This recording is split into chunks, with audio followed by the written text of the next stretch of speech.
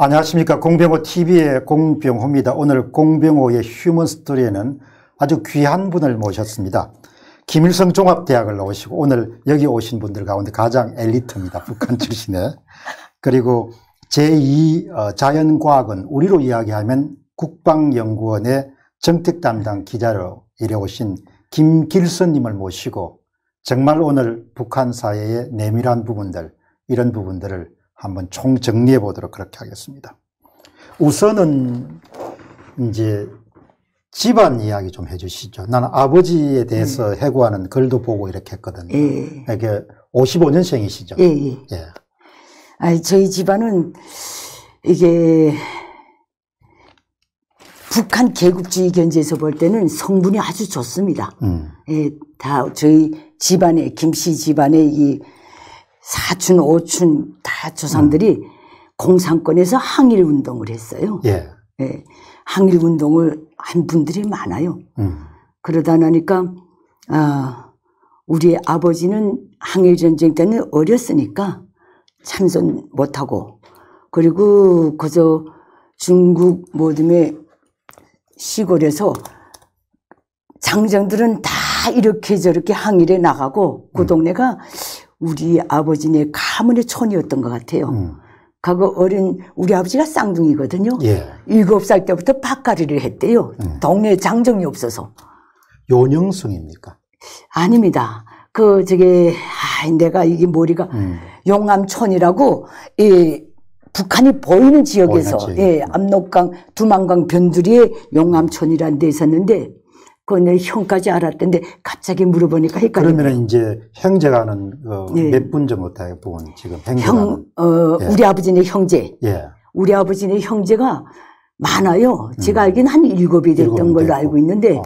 일곱 분 중에서 아버지 성함이 김용암입니다. 김용암. 예. 몇 년생이셨어요? 우리 아버지는 32년생입니다. 32년생이고. 예, 그러다 나니까 항일 운동을 하셔가 상당히 이제 출신 성분이 좋은 집안. 예, 그 형들 음. 사춘들 다 음. 그렇게 항일 운동을 하다 나니까 어, 성분이 나름 좋았어요. 음. 그런데 그 한 여섯 일곱 명의 항일 운동 참가자들 중에 김일성 친설 부대에서 뛴 분이 바로 우리 아버지 누이예요. 아하.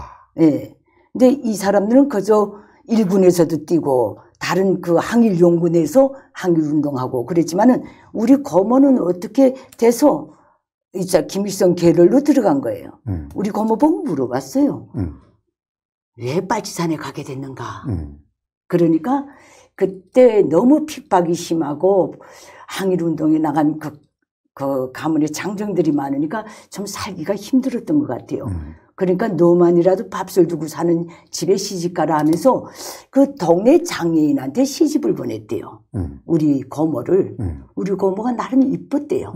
근데 우리 고모는 좀 깨 있었거든요. 음. 그래서 어, 결혼식을 앞두고 아예 산으로 들고 뛴 거예요. 도망 빨치산으로 도망간 거예요. 음. 그래서 34년에 빨치산에 들어가가지고 그때부터 이렇게 쭉, 어, 김일, 김일성의 본처인 김정숙이랑 한 부대에서 다 있었어요. 음. 어, 그런 출신이거든요. 그래, 거기서 이제, 어, 우리 고모, 그래도 빨치산 때 결혼은 어떻게 했는가. 그러니까 들어가서 어, 결혼을 했댔대요. 빨치산 내에서. 음. 그, 그 어느 부대 정치위원이었대요. 음. 공산권에는 정치위원 부대, 부대 직책에 정치지도원이라든가 정치위원은 꼭 있으니까 음. 그 정치위원을 했던데 뭐 전사했다 그래요. 그 다음에 이제 그 우리 고모는 애도 하나도 없이 과부가 된 거예요. 빨치산에서. 음. 음. 그쭉 가다가 40년대 이빨치산 부대들이 토벌이 너무 심해지니까 음. 다 소련으로 넘어가는 때 김일성이가 그랬대요.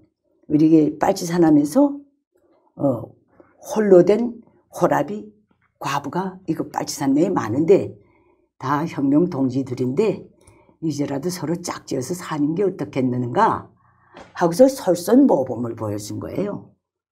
예, 이거는 대한민국 사람들이 아는지 모르겠는데 김종숙이하고 결혼을 한 거예요.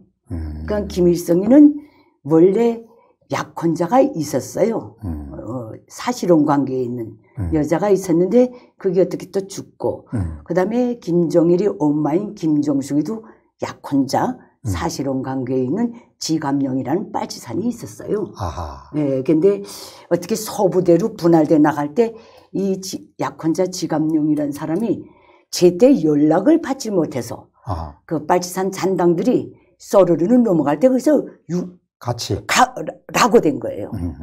못 넘어가고 라고 된 거예요. 그럼 혼자 그 선을 뚫러서 넘어가자니까 시간이 많이 걸렸던 것 같아요. 음. 그러니까 김일성이하고 김정수가 그때 결혼을 해서 설서 모범을 보인 거예요. 음. 그러면 우리 고모도 결혼을 했어요. 음. 그때 음. 그 이미 번처가 어 일제에서 희생된 그 빨치산의 아이, 나름 고물이었어요. 음. 그분하고 결혼식을 해서 이렇게 이렇게 살고 하여튼 우리 가문이 좀 그래요. 음. 그럼 그 빨치산은 대개 예. 이제 활동 무대가 예. 그런 그 압록강이나 두방강 연변을 해가지고 예. 지금은 간도 지역 그 예. 주변에서 주로 활동을 했겠네. 압록강 두만강 연변에도 50, 어, 36년, 7년까지 가끔 출몰 했고 거기 붙질 못했던 것 같아요. 음. 다 북만주, 남만주 이런 데서 다 활동을 활동했구나. 했거든요. 그럼 주로 이제 예. 뭐 예를 중국 들면 내륙에서. 내륙에서 동북. 그리고 북한 저뭐 일제를 예. 지소를 공격하거나 그런 업무를 주로 하십니까? 예, 그게 근데 그렇게 안 됐던 것 같아요. 그, 예, 저 중국 공산당 항일 연군에, 음. 항일 연군의 한 연군에 속해가지고, 해가지고 거기에 조선인 부대, 음. 그것도 소대급, 중대급, 뭐 이렇게 다 있지 않습니까? 음, 음. 거기에 한 부대, 부대장이 김일성이었던 거예요. 네. 그러면 이제 예. 아버지도 거기에 활동하시다가 북한을 언제 들어오신 겁니까? 우리 아버지는 활동 안 연령대가 하셨구나. 아니에요. 음. 그러니까 그때 우리 아버지는 그때 정말 32년도생이니까 음. 42년도에 10살 났을 때예요. 음. 42년도 그 7살 때부터 그럼. 고모는 고모는 언제까지 생존하셨습니까? 우리 고모는 그 김일성이가 뭐 저 중국에 들어갔다가 1945년 9월 말에 소련 군함을 타고 원산으로 들어갈 때그 음. 군함에는 안 타고 김정숙이요 뭐요 해서 빨치산 부인들 있지 않습니까? 음, 음. 부인들하고 그 소련에 들어가서 난 애들 다 같이 그 좀 늦게 음. 북한 땅으로 들어와서 청진, 줄, 온천 이걸 다 요양을 하면서 1945년 12월 말에 평양에 들어간 거예요. 음. 그럼 그때까지 김정숙이요, 김정일이요, 우리 고모요, 우리 사촌들이 다 한 배를 타고 한, 음, 같이 다 움직인 거예요. 김일성이는 따로 움직이고. 그러면은 고모님은 상당히 삶이 유복했겠네 북한에서. 근데 이게 문제예요. 북한의 모든 빨치산 출신들이 굉장히 혜택을 받는 줄 아는데, 음. 그거는 뭐, 그렇지 않아요. 나는 지금도 기억나는데, 내가 63년도에 북한에 들어갔거든요. 예. 우리 아버지 어머니 따라서. 그때 빨치산들도 배급제였어요. 아하. 특전 특혜가 없었어요. 음. 나는 정확히 기억하거든요. 음. 그게 뭐 백미 70%, 잡곡 30% 주민들이 이렇게 받는다 치면 음. 백미를 100% 줬다. 이게 하나예요. 음. 그리고 공급 공급이 조금 일반 평균보다 더 높았다. 음. 그리고 모두 직책이 상위권에 있었으니까 그 저희 말하자면 로미 음. 생활비 지급이 높았다는 거. 음. 생활비 조금 전에 뭐라고 하셨습니까? 여기는 예, 어, 북 여기는 월급이라 하죠. 월급 하- 하죠. 예, 북한은 생활비라고 그래요. 생활비라 하구나. 월급하면 노동력 착취라는 거예요. 아하. 그래서 로임, 임금 이 단어를 북한에서 싹쓸이 축출해 버렸어요. 아. 그리고 생활비 딱 생활비. 이렇게 규정을 해놨어요. 음. 김일성이 말한 게 있어요. 국가가 먹고 입고 쓰고 사는 문제를 100% 보장해 주니까 우리 주민들한테는 로임을 줄 필요가 없대요. 월급을 줄 필요가. 음. 딱 생활비에 필요한 자자구리한 거 사는 것. 그 전기 사용료 배급 탈 때 국정 가격으로 주는 입살 한 킬로의 최저 가격이거든요. 음. 그럴 때만 지불할 수 있는데 합당한 양의 월급을 생활비를 지급한다 해서 북한은 오늘날까지도 로임이란 말을 안 씁니다. 음. 그러면 그렇게 해서 이제 네. 그 고모님은 삶이 어땠습니까? 우리 고모님은 그때 나와가지고 음. 그뭐 나름 그 빨치산 대우를 받으면서 살았어요. 그때 김일성이가 뭐 비단에 이, 이, 기, 거기 거기국에 이 밥에 고깃국 비단옷이 기아집 이 노래 부를 때 음. 에, 비단옷에 걸려가지고 우리 고모는 평양 제사공장 당비서를 했어요. 음. 그 빨치산 출신으로서 제일 큰 공장이었거든요. 제사공장이요? 일제가 예, 음. 제사공장. 그 당비서를 했는데 그렇다고 해서 남이 옷 세 벌 때 다섯 벌인 적도 우리 고모는 없었던 것 음. 같아요. 빨치산들이 적어도 74년도까지는 굉장히 겸, 검소하게 살았어요. 음. 그 우리 68년도, 67년도 그때 북한의 외교관들 집에 가보면 TV가 있었어요. 음. TV 나오기 시작해서. 음. 그때 빨치산 집에 가면 TV가 없었어요. 음. 그렇게 검소하게 살았댔어요. 그러면 이제 예. 그 성장하면서 우리 집이 좀 출신 성분이 좋다 예. 이런 걸 느끼 느꼈습니까? 저는 그저 태, 태어나서 북한에 들어간 날부터 느꼈어요. 음. 어디 가나 전 빨치산 가문이다. 그럼 오늘 예. 우리 방송에서 모신 분 가운데 예. 평양 특별시죠. 예, 예. 평양 특별시 출신은 오늘 처음이거든요. 아, 그렇습니까? 평양 특별시 그러니까 예. 평양에 거주한다는 그 자체가 좀 특별한 거죠 북한에서는. 그것도 아닙니다. 거 아니구나. 이게 음. 모든 북한 권력 구조의 상부 구조가 평양에 거주하고 있기 때문에 음. 성분상 거기에 종사하는 사람들은 좋다고 봐야 돼요. 음. 그리고 일반 평양 시민들이 있는데 이거는 적대 계층이 아니면 살 수가 있는 거예요. 음, 적대 계층이 아니면 100% 핵심 계층으로 못 뭘. 뭘 가지고 그렇게 내가 네. 평양에 이- 들어갈 때부터 내가 그렇게 좀 출신 성분이 좋다는 걸 느꼈습니까? 아, 그거는 대우가 다르더라고요. 우리가 기차 음. 타고 넘어서 평양역에 내리니까 음, 새까만 법에다가 딱 와서 우리 가족을 다 실어가고 음, 중국에서는 그런 대우를 못 받았거든요. 음. 내가 잘할 때 가만 음. 보면 그때가 몇 살 때입니까? 그때가 일, 여덟 살 때. 여덟 살 때가 기억이, 네. 기억이 남아있구나. 예, 기억이 다 남아있죠. 음. 그하고 공부를 못했어요. 제가 음, 정말 공부를 못했어요. 북한에 나갈 때까지 한국말을 한마디도 못했어요. 음. 중국말만 했기 때문에. 우리가 음, 심양, 장춘, 할빈 이런 데서 살았어요. 아주 익숙한 장소네. 예, 우리 아버지 어머니가 할빈 공대 출신이거든요. 음. 그러다 나니까 대도시에서 살다 나니까 조선족이 없는 사회에서 거의 살다시피 했어요. 음. 근데 들어가니까 공부 제일 못하고 가짜다리도 모르는데 가가 거기는 더 말할 것도 없고 음, 하나 음. 더하, 더하기 하나가 다 뭔지도 리에 못하는 나임에도 불구하고 음. 내가 빨치산의 무슨 후손이라 해가지고 야 그것도 쉽지 않는데 그 그렇게 공부 못하는 나를 인민학교 중학교 정의관 10점 만점 최우등 5점 채점법 때는 5점 만점 최우등으로 졸업시키고 10점 채점법에 나왔을 때는 10점 만점 최우등으로 졸업시켰어요. 음. 저는 항상 내 학습 담당 말하자면 방조주는 소년단 간부를, 간부를 달고 다녔어요. 제좀 공부 개별 교수하라고 음. 그 분공을 받거든요. 음. 그렇게 받으면서도 공부를 못했어요. 음. 난 싫더라고요 학교 가는 게.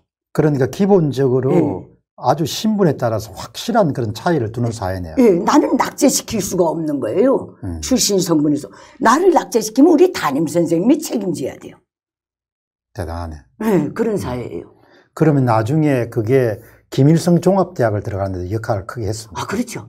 그러니까 이게, 예, 내가 이거 쭉 하면 내가 뭘 잘못하든 아무 그 뭐 다 그래도 항상 나는 용서받고 아량을 받는 그런 위치에 있었댔어요. 음. 그거 보면 다, 어, 그 60년대, 70년대 초반만 해도 북한 주민사회 항일 빨치산 출신 투사들에 대한 그 가족들에 대한 존경심이 있었던 거예요. 존경심. 예. 음. 그게 김일, 김정일이가 다 말아먹었어요. 음. 존경심이 그, 래서 있었어요. 아까 말씀하신 게 예. 1974년이 예, 북한 분기점이에요. 역사에서 굉장히 중요하구나. 예. 그러면 그 김정일이가 예. 등장했을 때가 1974년 몇 언제입니까? 1900, 에, 원래 김정일이가 69년도가 68년도에 당중앙위원회에 들어가요. 음, 당 중앙위원회. 예, 위원회에 들어가서 처음에는 문화예술 담당부의 지도원으로 들어가가지고 뭐 그다음부터 김일성 족속의 김일성의 혁명 역사를 왜곡해서 음. 어 이렇게 형상화하는 거기에부터 들어가는 거예요. 음. 그래서 그때 70년대 딱 넘었으니까 벌써 김일성이 뭐 빨치산 때 만들었다는 영국 대본, 성광당 꽃 파는 처녀, 한자에도 하는 음용 이런 걸 다 가지고 가극으로도 각색하고 욕마로도 각색하는 그 우상화의 첫 시발점을 김정일이가 뗀 거예요. 음, 그때 들어가 70년대 초부터 그거 줄줄이 나왔거든요. 음, 음. 그래서 거기서 거기서 두각을 나타낸 공로를 인정받아가지고 후계자로 더 빨리 올라설 수 아하. 거예요. 그래서 후계자로 본격적으로 올라선 게 74년입니다. 예, 74년입니다. 그 전에 1972년 4월, 이거는 내 정책 담당 기자기 때문에 음. 이걸 알아요. 1972년 4월 15일, 음, 자, 김일성이 자기 생일을 맞아서 망경대 생가에 가는 거예요. 음, 빠지산이요 측근들 데리고 그때 김일성이가 그, 그 김씨 족속들 친척들이 있을 거 아니에요. 음, 음. 다 어르신들 그 집안의 어르신들 앉혀놓고 이 담소를 하는데 그때 그, 그 자리에서 이런 말이 나온 거예요. 아, 당신 이제 후계자를 세워야 되지 않겠나? 누구를 세우겠나? 집안 어른들이, 어른들이. 김일성한테 얘기한 거예요. 음, 낙후한 봉건주의 집안이니까 음. 아버지 대를 아들이 일한다고 딱 생각하는 거예요. 그렇게 얘기하니까 그때 김성애, 김일성의 후초가 완전히 치맛 발음이 온 전국을 휘저을 때거든요. 아하. 그러니까 김성애의 후광을 입어가지고 김평일이가 후계자가 돼야 한다. 그 집안에선 그랬던 것 같아요. 아하. 왜 김정일이는 이거 어, 어릴 때도 공부도 제대로 안 하고 엄마가 먼저 죽고 뭐 아버지가 후초를 들여오고 그러니까 이게 적응이 안 돼가지고 음, 마지막엔 김일성이하고 한 집에서 살지도 못했어요. 음, 음. 그래가지고 자기 동생 경일을 데리고 김일성하고 김성애, 평일이, 경진이, 영일이 사는 집하고 완전히 떨어진 데 가서 살았어요. 음. 이거 아니까 그거 내가 김정일이를 보면서 제일 느낀 게 60년대 우리 오빠랑 사촌 오빠랑 다 김정일이하고 저 소련군 병영에서부터 같이 온 사람들이에요.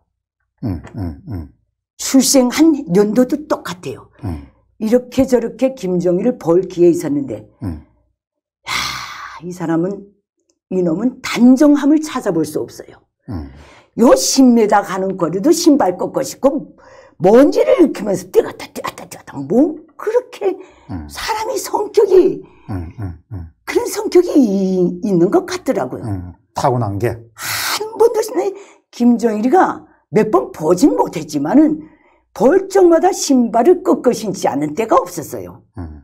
세 발자국 갈 것도 뛰어가요. 단정함이라는 게 거의 없고. 예, 없어요. 음, 그리고 너무 프리한 거예요. 나는 김일성이 장자다. 에이, 음, 그런 거 음. 있어가지고 완전히 아나무인이고 그게 그 사람이 그 김정일이 모든 언행 액션들에서 그게 다 보이는 거예요. 음, 응? 그런 녀석이다. 근데 내 눈에도 보였는데 어린 나이의 눈에도 음. 아, 저 쉽지 않은 사람이로구나 보였는데 그 집에 가문의 어른들은 더 했겠죠. 그렇죠. 눈, 눈밖에 났겠지. 예, 그러니까 김정일이는 앞만 봐도 이게 아닌 거예요. 음. 그러니까 평일이를 계속 주선한 거예요. 그 평일, 김평일 씨는 어른들 눈이, 눈에 좋아할 사, 사람이지. 좀 차분하, 크고 차분하고. 예, 학교를 정상적으로 다녔고 다 이렇게 되고 음, 그또 그때 김성애가 살아 있고 정확히 교육을 준 거예요. 음, 여차무 후계자로 세운다 해가지고 김평일이를 위해서 김성애가 엄청 날쳤어요. 음. 근데 그렇게 된 상황에서 그 김경일이가 김평일이가 되어야 하지 않는가. 집안 어른들이 그렇게 얘기하니까 김일성이가 거기서 선을 딱 세운 거예요. 우리 집안 혈통은 음, 김종숙 혈통이라는 것.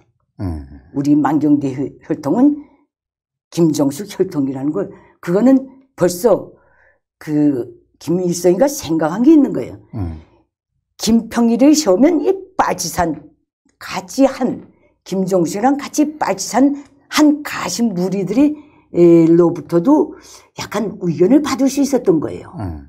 위협을. 예, 위협이 아니고 음, 그래도 항일에 전후 김종숙이 새끼를 세워야 되지 않겠는가 음, 이런 말이 나올 수가 있었던 거예요. 음. 그리고 정치적 명분이 그땐 평일이한테는 없었던 거예요.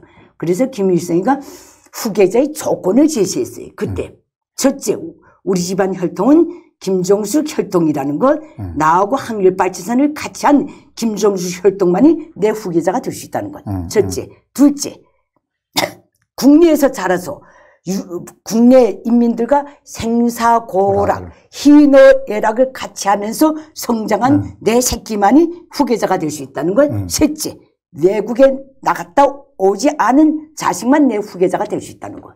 음. 자유세계, 세계 밖에 에, 문물을 접하지 않은 거. 어, 두 번째입니다. 세 번째가 뭔가. 그때 김정일이 역할을 보면서, 어, 이 당을 이끌면서 수령이 지근거리에서 수령 위에서 업적과 공로를 세운 어, 내 혈통만이 후계자가 될 수 있다는 거예요. 음. 그거를 뭘 염두에 두는가? 바로 김일성 우상화에서 김일성이 항일 때 무슨 만들었다는 영국이 뭐요 가국으로 올리면서 우상화의 첫걸음을 시작한 김정일을 염두에 둔 거거든요. 음. 그래서 그때 아 패가 이렇게 돌았구나.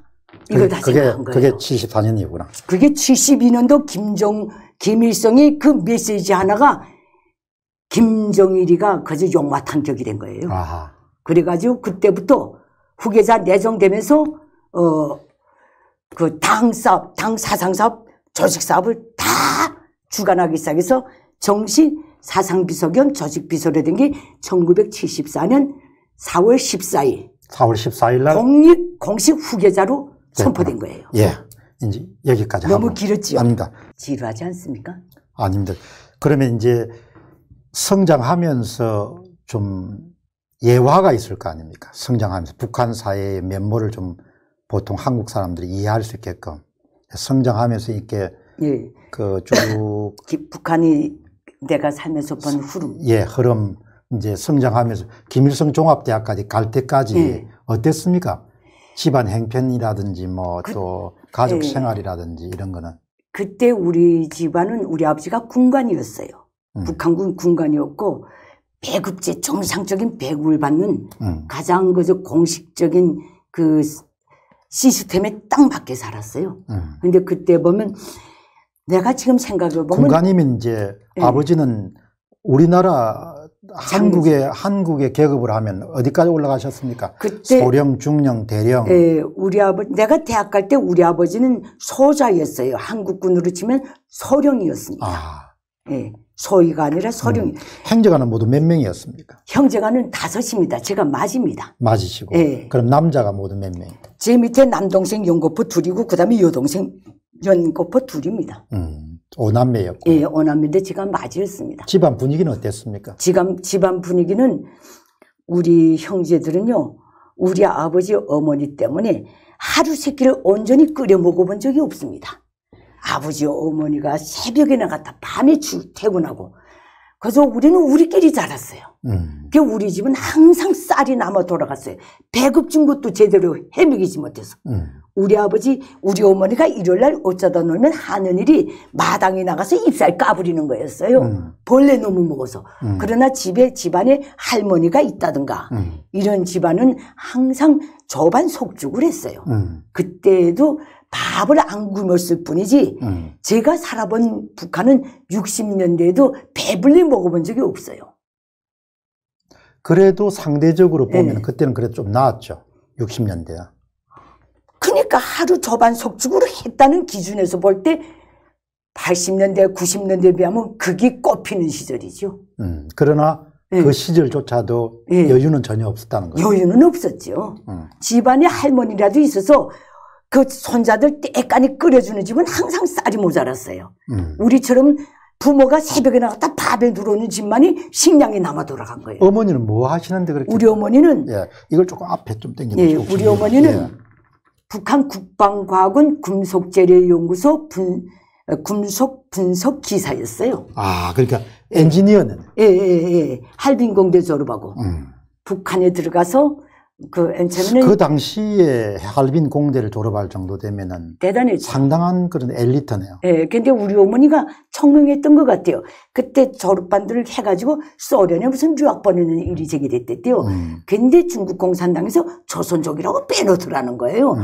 그게 한이 맺혀서 우리 아버지 조선 가서 할 때 즉각 따라 나온 거예요. 아, 그 민족성이라는 게 그렇게 그 그런 게 있으면 있는 것 같더라고요. 음. 불이익 당하는 데 대한 거. 음, 그러니까 우리 어머니는 나가가지고 그때 나가니까 북한에 물리수학연구소라고 있었어요. 지금 모란봉 쪽에. 예, 그게 여기에도 아는 분들이 많더라고요. 강영창이라는 사람이 거기에 위원장을 했댔거든요. 음. 거기에 그 말하자면 국방과학원이 정식 창립되기 전에 물리수학연구소에서 연구사로 일했어요. 그 다음에 국방과학원이 정식 나온 다음에 그 이후에 이제 국방과학원으로 우리 아버지도 들어가고 우리 어머니도 들어가셨죠. 음. 그래서 저는 국방과학원 고란에서 뛰놀며 자랐어요. 음. 예, 그러니까 거의 그 생활 반경이 거기 있어요. 예, 국방과학원. 예, 국방과학원. 국방과학원. 오늘 제 9회 뭐 명칭 비밀을 지킨다면서 제2자연과학원으로 바꿨다가 김정은 시대에 와서 다시 국방과학원으로 회귀했어요. 음. 그, 그래서 예. 한번 제2자연과학원으로 바꾸고. 예. 그럼 거의 거기서 그냥 평생을 보냈다 해도 관계가 없네요. 그래서 우리 아버지 어머니가 국방과학원을 벗어날 때까지 그 어, 고- 고란에서 중학교 시설을 다 보냈어요. 그러면 예. 북한은 그런 국방과학원이 거기서 또 다 미사일 같은 것도 연구하고 아, 그렇죠. 공학연구소, 국방과학원 공학연구소에서 바로 미사일 그 개발의 주 연구소가 그러면 공학연구소죠. 뭐 거기 아- 북한을 이끌고 있는 공학도들은 거의 핵심 인재들은 다 거기에 있겠네. 그렇죠. 그죠? 근데 그 핵심 인재도 우선 해- 아무리 두뇌가 탁월하고 그래도 어, 우선 성분이 좋아야 돼요. 음. 원래 64년 64년 10월 24일이 국방과학원 창립절이에요. 북한은 음, 그때부터 음, 음. 국방과학원이 나왔어요. 처음에는 이 인재가 없으니까 중국 사람들이 많이 들어왔댔어요. 음. 중국 사람들이 공부를 많이 대학 졸업한 사람들이 음. 국방과학원 연구소의 주를 이뤘다가 음. 74는 김정은이가 올라앉, 김정일이 올라앉으면서 그것도 하나하나 하나 세탁을 해가지고 다 내보냈어요. 음. 그러니까 이제 이 김책공업대학이라든가 이런 데서 어, 우리 종합대학 물리학부라든가 이런 데서 그 두뇌진들이 공부 좀 잘하는 것들이 걸로 다 들어갔죠. 음. 대외 보충이 됐죠. 그러면 거기는 되게 좀 우대했습니까? 이 생활이나 이런 거는 없어요. 똑같아요. 똑같고. 그게 1984년까지는 국방과학원이 너무 가난해서 어떤 과학, 그 대학 졸업한 사람이 국방과학원 배치받았다면 울면서 들어갔어요. 한 번 들어가면 나오지 못하는 비밀 단인 데다가 음. 이거는 뭐 어떻게 숨통이 안 열리는데 장사도 못하고. 장사도 못. 예, 그때는 국방과학원에 배치받으면 언지만이 저승 가는 걸로 생각했어요. 그, 나도 79년도에 국방과학원에 배치받았거든요. 대학 졸업하고. 음. 아, 막 죽고 싶더라고요. 거기 가기가 싫어서. 음. 그때 국방과학원이나 군수공장 배치당할 때 그거는 진짜 지옥에 들어가는 걸로 딱 관념이 돼 있었어요. 그럼 언제부터 좀 나아졌습니까? 거기 바로 김정일이가 어 저게 74, 71, 82년도, 음. 82년도 뭐 어쩌지 그때는 그럴 수밖에 없었던 게 러시아에서 계속 구소련에서 신형 무기들 그사 들어가서 뭐 이렇게 분해해가지고. 우- 분해해서 또 모방할 수도 있고 음, 음. 근데 그때까지는 모방할 생각은 못 했던 것 같아요. 음. 과건 수준이 원래 낮고 있으니까. 음. 그러니까 수리하고 구소련 무기들이 고장나면 겠다가 분해서 수리하고 다시 보내는 이게 그저 수리소나 같았어요. 음. 이건 내가 그 세계에서 봤기 때문에 정확히 알거든요. 음. 그리고 베트남 전 때 그 이런 이렇게 써 비행기 예. 쏘는 거 있죠. 음. 이것도 그 북부 어, 군이 몰수 그로에 했던 걸 북한에 보내줘서 그때 그것도 개발하느라고 엄청 애를 썼는데 음. 내가 그때가 90, 68년도, 9년도 그때 경리 내가 중학교 때 마당에서 막 뛰놀다가 어떻게 우리 어머니 그 연구소, 금속재료 연구소 큰 울타리 안에 다 있으니까 그거 가보니까 어병영이가 와 있더라고요. 음. 어병영이가 그때 김정, 김일성이 지시로 국방과학원의 정권 대표였어요. 음. 어병영이가 이게 이런 정원에 앉아서 기우빔에 앉아있고 그 앞에 과학자, 난 과학자인 줄은 모르겠지만은 그때 국방과원이 다 군복을 이- 입고 있을 때거든요. 음. 그쭉 서서 다 이렇게 하고 욕먹는 자세로 서 있더라고요. 음. 보니까 듣는 소리 보니까 뭐 이렇게 왜 그 무기를 이, 이거 있지 않습니까? 휴대용 로켓. 음. 이걸 왜 개발 못하나 하니까 그 과학자들이 단독 혹선이 어쩌고 뭐이 설명을 하는 아, 것 같아요. 아, 아, 아. 왜이 설명을 아, 하니까 어진이가 듣기 싫으니까 무식하니까 그게 무슨 소린지 모르거든요. 계속 굽이다가. 그래 하겠다는 거요? 못 하겠다는 거야? 이렇게 따진 거예요. 음. 너 이제라, 이제라도 이 자리에서 못 하겠다면 못 하겠다고 말하라. 그러면 내가 수상님한테 가, 수상 동지한테 가서 저 새끼들이 못 하겠답니다. 이렇게 보고를 하겠다는 거예요. 음. 그럼 하겠다면 하겠다고 말하, 말하라. 그럼 내가 그것들이 하겠대요. 보고하겠다. 그 말이 못 하겠다 할 사람이 어디 있어요? 내가 그 광경을 그때 봤댔거든요. 음, 그땐 귀가 다 열려서 무슨 수학적인 이거는 몰라도 어쨌든 곡선에 관한 문제였던 거예요. 음, 음, 음, 그, 그거 광경 그렇게 낳고 했는데 국방과학자들의 처우가 나름 개선된 게 1980년대에 들어와서예요. 음. 무슨 계기가 있었습니까? 그때 소련이 점차적으로 그 북한에 대한 무기 지원을 중단하기 시작한 거예요. 아, 네. 음, 이게 화약고 같은 자꾸 주니까 전쟁 위험만 높아가고 음, 아 자꾸 남조선 쳐야 된다니까 컨트롤을 할 수가 없었던 것 같아요. 음, 음, 이 야망을 음, 음, 음. 안 했으면 좋겠는데 6.25 때 한번 붙어봤으니까 소련은 미국하고 붙는 거 아슬하거든요. 중국도 똑같아요. 음, 음. 중국도 벌써 그때는 개혁 개방 노선을 타면서 그렇지. 북한의 그 군수공업 부문에서 화약에 들어가는 막대량의 목화를 중국에서 다 수입해 들어갈 때예요. 그 목화 수입을 이제 전면 중단해 버린 거예요. 음, 음, 난 구분야에 있었기 때문에 이걸 알거든요. 음, 음, 그러니까 그때 중국도 소련도 음, 우리가 전쟁 준비를 해서 남조선을 해방하는 것을 절대 달가워하지 않는다. 음, 음. 이제 우리 식으로 진짜 자주 국방으로 나가야겠다. 이렇게 돼서 1982년도에 그 놈이 후계자로 돼서 이제부터 국방과학을 내가 직접 틀어주고 나가겠다 하면서 첫 미션을 준 게 있어요. 음. 소련제 구소련 스톱, 어, 그, 스- 스커드 어, 미사일. 스커드 미사일 미사일. 모방 설계에 과업을 줬어요. 음, 그러면서 이제부터 국방과학은 국방과학자들이 이 모든 생활은 내가 직접 책임지고 한다. 그게 이제 오늘날 북한의 저렇게 앞선 미사일 내 예. 일종의 초기 시작 예, 예, 단계가 시작이 그렇게 된 스커드 예, 스커드 미사일. 소련의 스커드 미사일을 예. 복제해서 예, 예. 개발하는 걸로 예. 시작했구나. 근데 김정일이는 지시죽을 기다려줄 줄 모르는 성격이에요. 음, 아이 때부터 신발을 꽂고 신고 뛰어다니던 그 품성이 그대로 나오는 거예요. 음, 음, 음.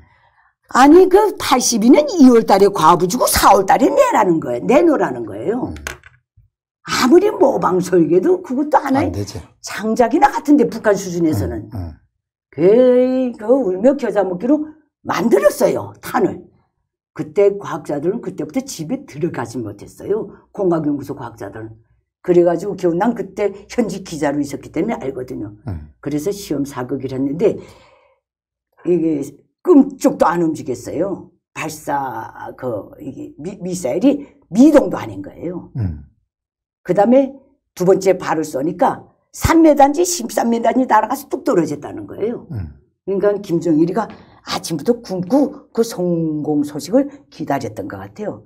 근데 그렇게 예, 실패했다 하니까 걱정하지 말라고 이제라도 다우트해서 하면 돼. 예, 우리나라에서 만든 뚜락도를 이뤄도 처음에 시동 거니까 까꾸로 나갔다나 음. 뒤로 가- 나갔다고. 음, 음. 와 혁명성 가지고 계속해. 그래서 스코트 미사일이 성공한 게 그때 시작해가지고 84년도 4월 달이야 이게 나름 구색을 가지고 어, 쏘면 뭐 메다에 관계없이 나가게 된 거예요. 음. 극하고 거기에 힘입어가지고 김정일이가 성격 국방과학을 현지 시찰했어요. 음. 1900, 어, 1984년 10월 24일 날, 아, 25일 날, 현지 시사는 상당히 현지 시찰. 현지 시차는 상당히 중요한 의미를 갖고 있죠. 어쨌든 수령이 왔으니까 수령이 온. 과거니 완전히 그냥 근데 김정일이가 또 묘한 게 예. 일요일 날이었어요. 그날이 음, 음. 24일, 10월 25일 곽자 25일이로구나. 이게 24일, 25일 자꾸 헷갈릴 때는 10월 25일 과학자 돌격대를 이렇게 하면 정확한 숫자가 나와요. 하도 들었기 때문에. 음. 그 과거에 다 휴식. 어, 항상 휴식 없던 과거에 일요일 날 휴식을 준 거예요. 음. 그때 깜짝 시찰을 했죠. 몇 놈만 알고.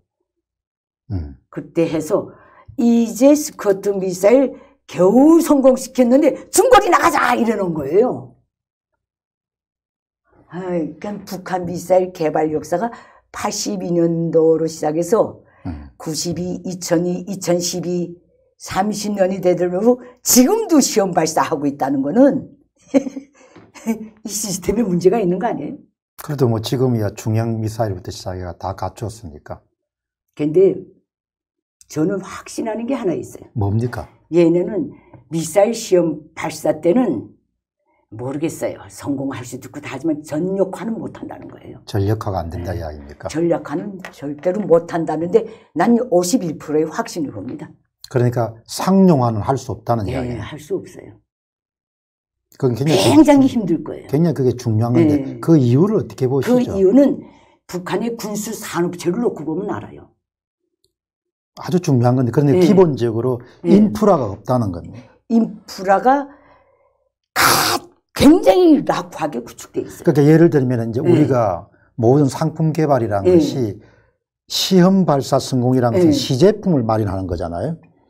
그 다음에 그게 현지 전력화를 하려면은 대량 생산 체제가 돼야 될 거 아니에요. 예, 그래서 지금 말씀하신 내용을 제가 군사 전문가들한테 들었던 적은 있거든요. 예, 예. 뭐 볼트, 너트 만들 이런 걸 네. 보면은 전력화가 불가능하다 이렇게 이야기하는데 그 말씀하시는 거예요. 아, 저는 그건 거기에 51%의 확신을 거는 이유가 음. 있어요.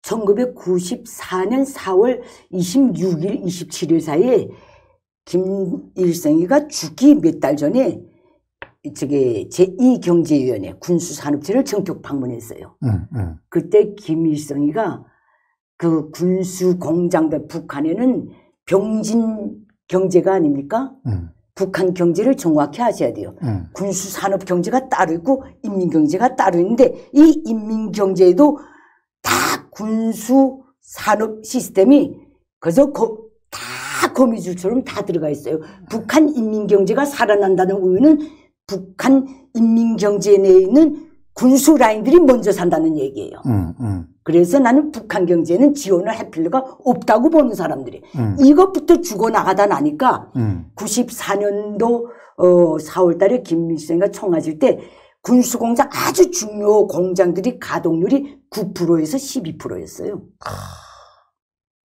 나는 주- 기자 출신입니다. 음. 그래서 김일성이가 한 말, 모든 군수 공장을 다 죽이더라도 탄 공장만은 돌려라 그랬어요. 그게 무슨 소린가 하면 우리가 포, 총, 뭐 이런 거 가득 만들어 놨는데 이게 화약이 없으면 부지깽이만도 못하다는 거예요. 음. 근데 김일성이가 통탄을 하면서 말했는데 그 이- 이후에도 김일성이 그 간절한 바람이 실현이 안 됐어요. 음. 오늘날 북한의 인민경제를 놓고 볼때 음. 인민경제 내 민수경제 내에 들어가 있는 군수 라인들이 살아 못 난다는 거는 군수경제도 못 산다는 뜻이에요. 그렇게. 협동품을 그것들이 다 물고 있거든요. 음. 구조가 딱 이렇게 돼 있어요. 음. 음. 이 민수분의 군수 라인들이 움직이지 못하면 온전한 제품이 나오기가. 굉장히 힘들어요. 내가 북한 미사일 종합 공장이 유일하게 딱 하나예요. 음. 그거는 아셔야 돼요. 북한이 어디에 있습니까? 그게 저게 용성구역에서 용성에서 말암 나가는 그쪽 방향에 용성은 어디 정도 있습니까? 용성은 연목동이라고 아시죠? 음. 평양에서 난 평양. 평소남북에 군부는 안안 가는데 되구나. 예. 예, 어쨌든 연목동 있는 거네. 평성 쪽입니다. 음, 음, 음, 평성 음. 쪽으로 나가는 용성 구역 그, 그 본고지를 지나서 조금만 나가면 강 옆에 있어요. 음. 조그만 개천 옆에 종합, 종합. 예, 종합 공장이 음, 그 고- 어, 위장 명칭이 망경대 약정기계 공장이에요. 음. 위장 명칭이. 예, 위장 명칭이 그다음에 어, 정식 명칭이 명칭이 음, 구호 공장인가? 어, 구호 아니 18호 공장인가? 18호 공장인가? 그 내가 이게 숫자 그런 데서 좀. 헷갈려. 그 공장이 거기에 들어가 있는데 그걸 내가 국방과군에 우리 어머니 아버지가 국방학원에 들어가서 국방과군 고란에서 뛰놀 때 아이 때부터 그 공장 건설을 했어요. 음, 음. 계속 그걸 듣고 자랐거든요. 음, 음, 음, 그 공장에 내가 92년도에 취재 갔던 적이 있어요. 음. 야, 미, 미사일, 야, 그 선전비사가 그러더라고요. 기자 선생, 왜요? 이게 나라가 견디겠어?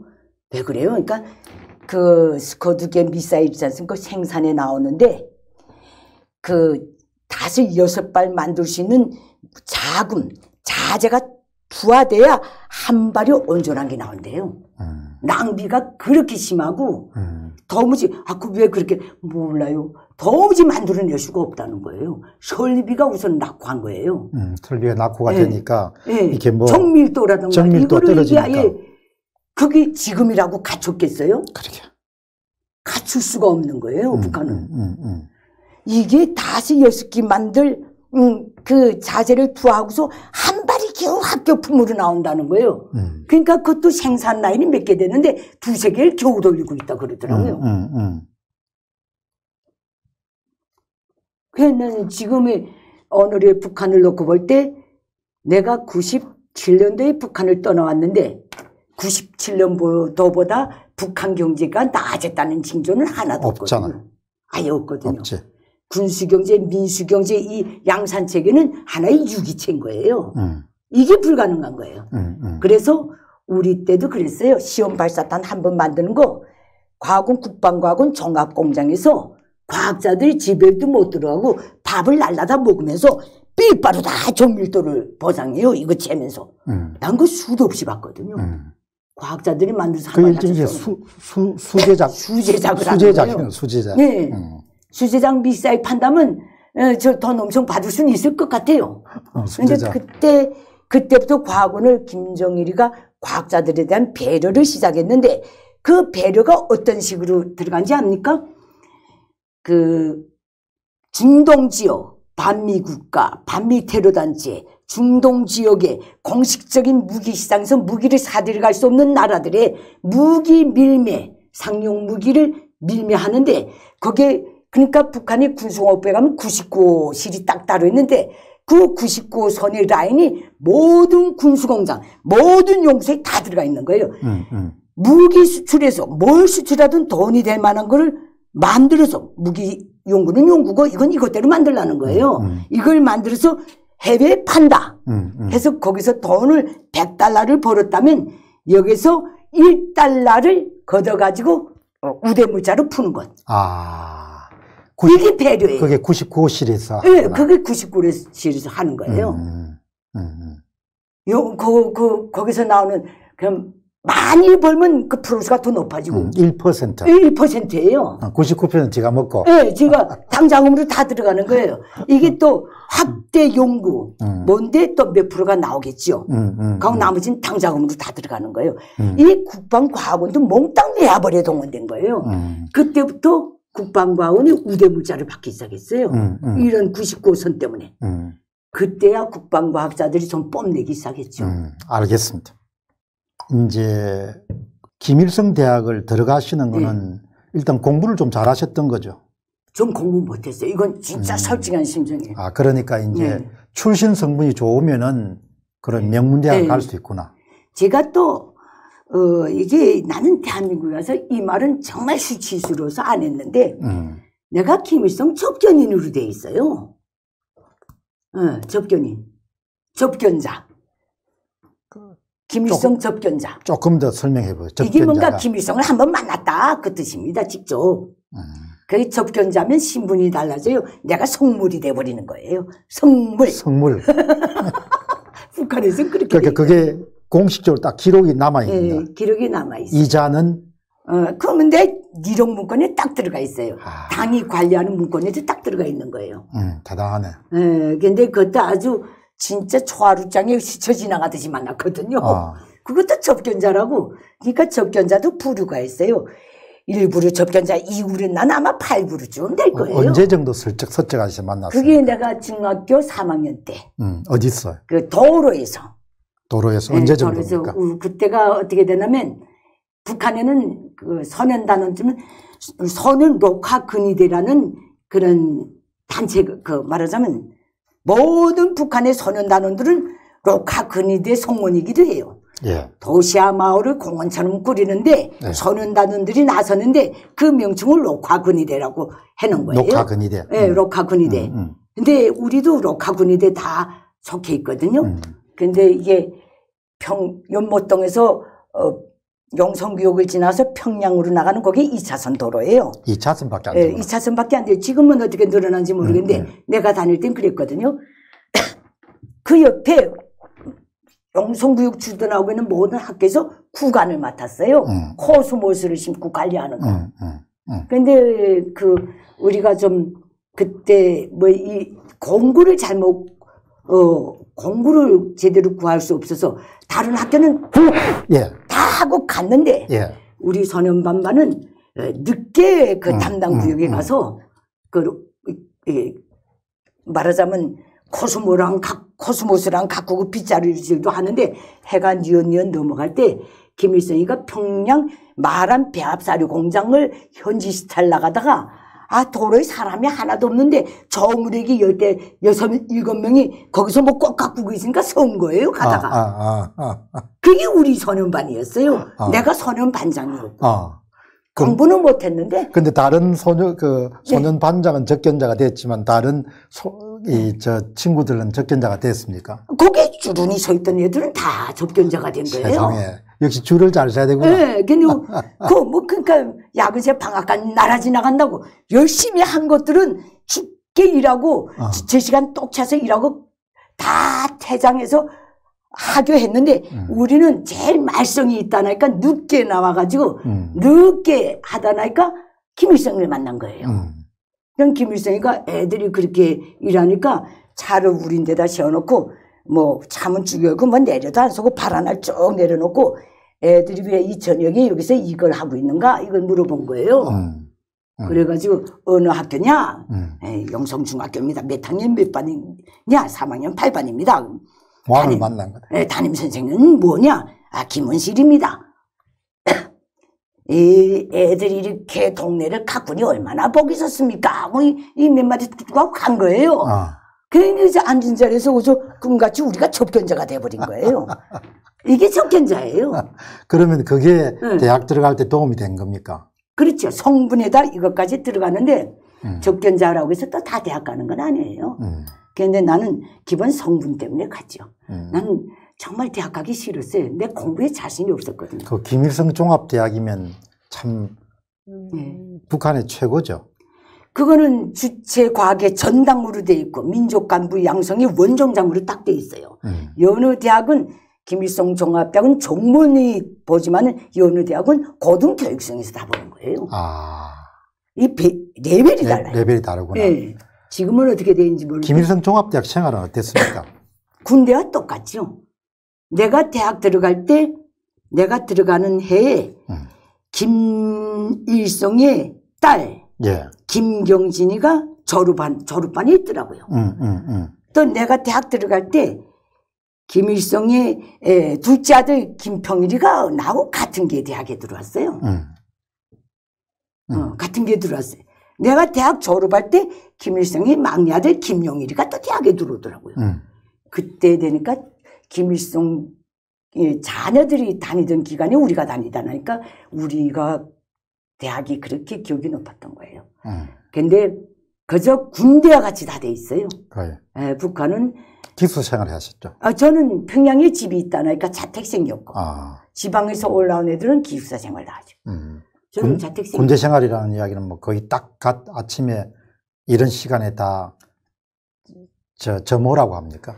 아니 그게 아니고 편제 자체가 군대로 돼 있어요. 음, 모든 학부는 연대로 다 돼 있어요. 음, 모든 과는 중대로 다 돼 있어요. 모든 학급은 소대로 돼 있어요. 그럼 그렇게 하는 거는 전시 체제가 되면은 동원이 가능하도록 하기 위해서 그러거든. 아니면 나라 자체가 이제 군사적인 그런 거기 때문에. 그, 이 모든 대학은 저체제의 기득권 양성의 본거지기 때문에 음, 여기서부터 강철 같은 균을 이걸 음. 수립해야 된다는 거예요. 음, 그래서 딱 그렇게 돼 있어요. 음. 세계 유일무이한 나라일 거예요. 대학이 몽땅 연대, 중대, 소대, 대원으로 돼 있는 거. 음. 다 그렇게 돼 있어요. 조선 조선어 학부 나오셨고. 예, 조선 어문학부. 그럼 이제 우리나라로 하면 국문과네. 예, 국문과 고전문학과를 나왔어요, 제가. 음, 학교 생활 어땠습니까?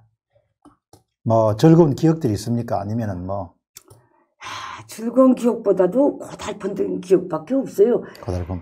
아, 이 대학 공부가 반 군대 생활이거든요. 음, 우리 때는 또 김, 내가 72년도에 대학에 들어가서 73년도에 본과에 들어갔는데 김정일이가 74년도에 후계자로 내정된 다음에 매일 충성의 선서를 김일성 종합대학부터 시켰어요. 음. 아침에 출근하면 등교하면 그저 선서부터 하는 거예요. 선서부터. 매일 농촌동원 나가면 논밭에 서서 또 선서, 선서하는 거예요. 선서하려면 그럼 뭐 몇 분 정도 걸립니까? 아, 한 20분 걸릴 거요. 김일성 장군. 노래, 김정일. 아니, 그거는, 그 노래는 다 외우는데 선서문은 누구도 못 외워요. 그러면 세포비서가 소대장이 떡지고 앞에서 선창을 하면 따라 부르는 거예요. 대동강 호안공사 나오면 발 절반 물에 잠겨서도 또 이렇게 또 해야 돼요. 우린 그럴 때 살- 다녔어요. 근데 난 지금 종합대학 애들은 뭔지 모르. 우리는 정말 강철 같은 균일 속에서 음.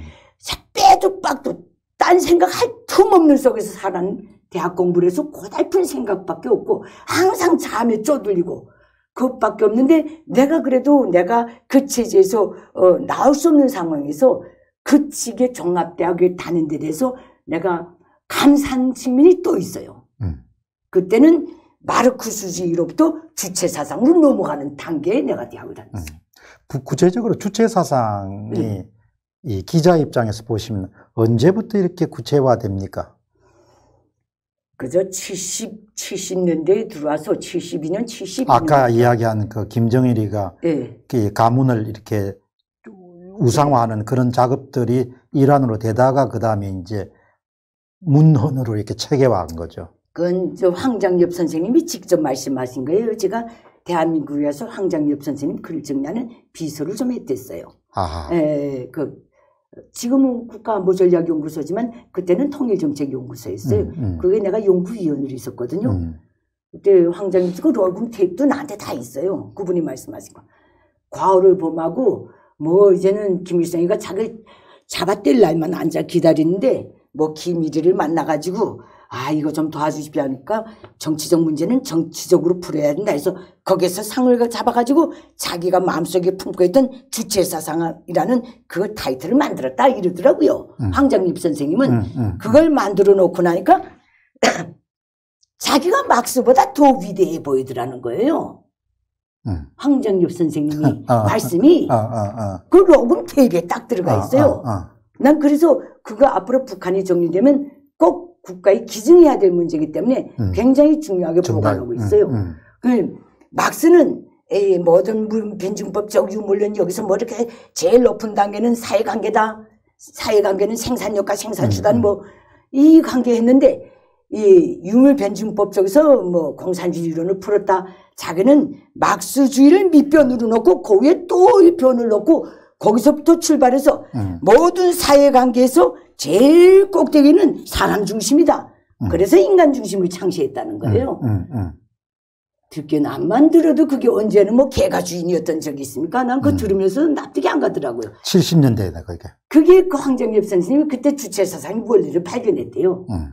그렇게 발견하고 보니까 금강산 12,000 봉우리가 발밑으로 보이더라는 거예요. 음. 자기가 마르쿠스 배울, 주의 배울 때는 12,000 봉우리 높이가 마르쿠스 같더라는 거예요. 음, 음. 근데 우리 황정엽 선생님은 철학가니까 음. 그렇게 볼 수도 있어요. 그럼요. 그럼요. 네, 그건 어. 내가 이해해요. 음, 근데 이제 음. 황장엽 선생하고 얼마나 만났습니까? 그때. 한 제가- 기간으로 하면은. 한 5, 6년 아유, 그분이 글을 다 정리했어요. 그때 그분이 보셨구나. 예, 쓰신 훌륭한 글들은 내 손에서 다 정리됐습니다. 근데 음. 인간 중심 철학은 안 다쳤어요. 가나다 저게 시간, 시간 낭비하기 쉽지 않더라고요. 음. 북한하고 철학적 원리가 똑같은데. 어, 그래서 하루는 안 하겠다고 딱 선을 걷어요. 어, 이것만은 못 하겠다. 이것 때문에 내 여기까지 왔는데. 어. 그렇게 됐는데, 이건 네. 여담이고. 여기까지 왔는데. 예. 그 황어른이 예. 굉장히 낙심하고, 그때부터 나를 경계하더라고요. 음, 아예 자기 인간중심 철학의 일수제자라 그랬는데 내가 그렇게 더 발을 거니까 음, 그렇더라고요. 근데 황정엽 선생님 주체 사상이 틀거리를 만든 게 60년대 말이거든요. 60년대 말이구나. 네.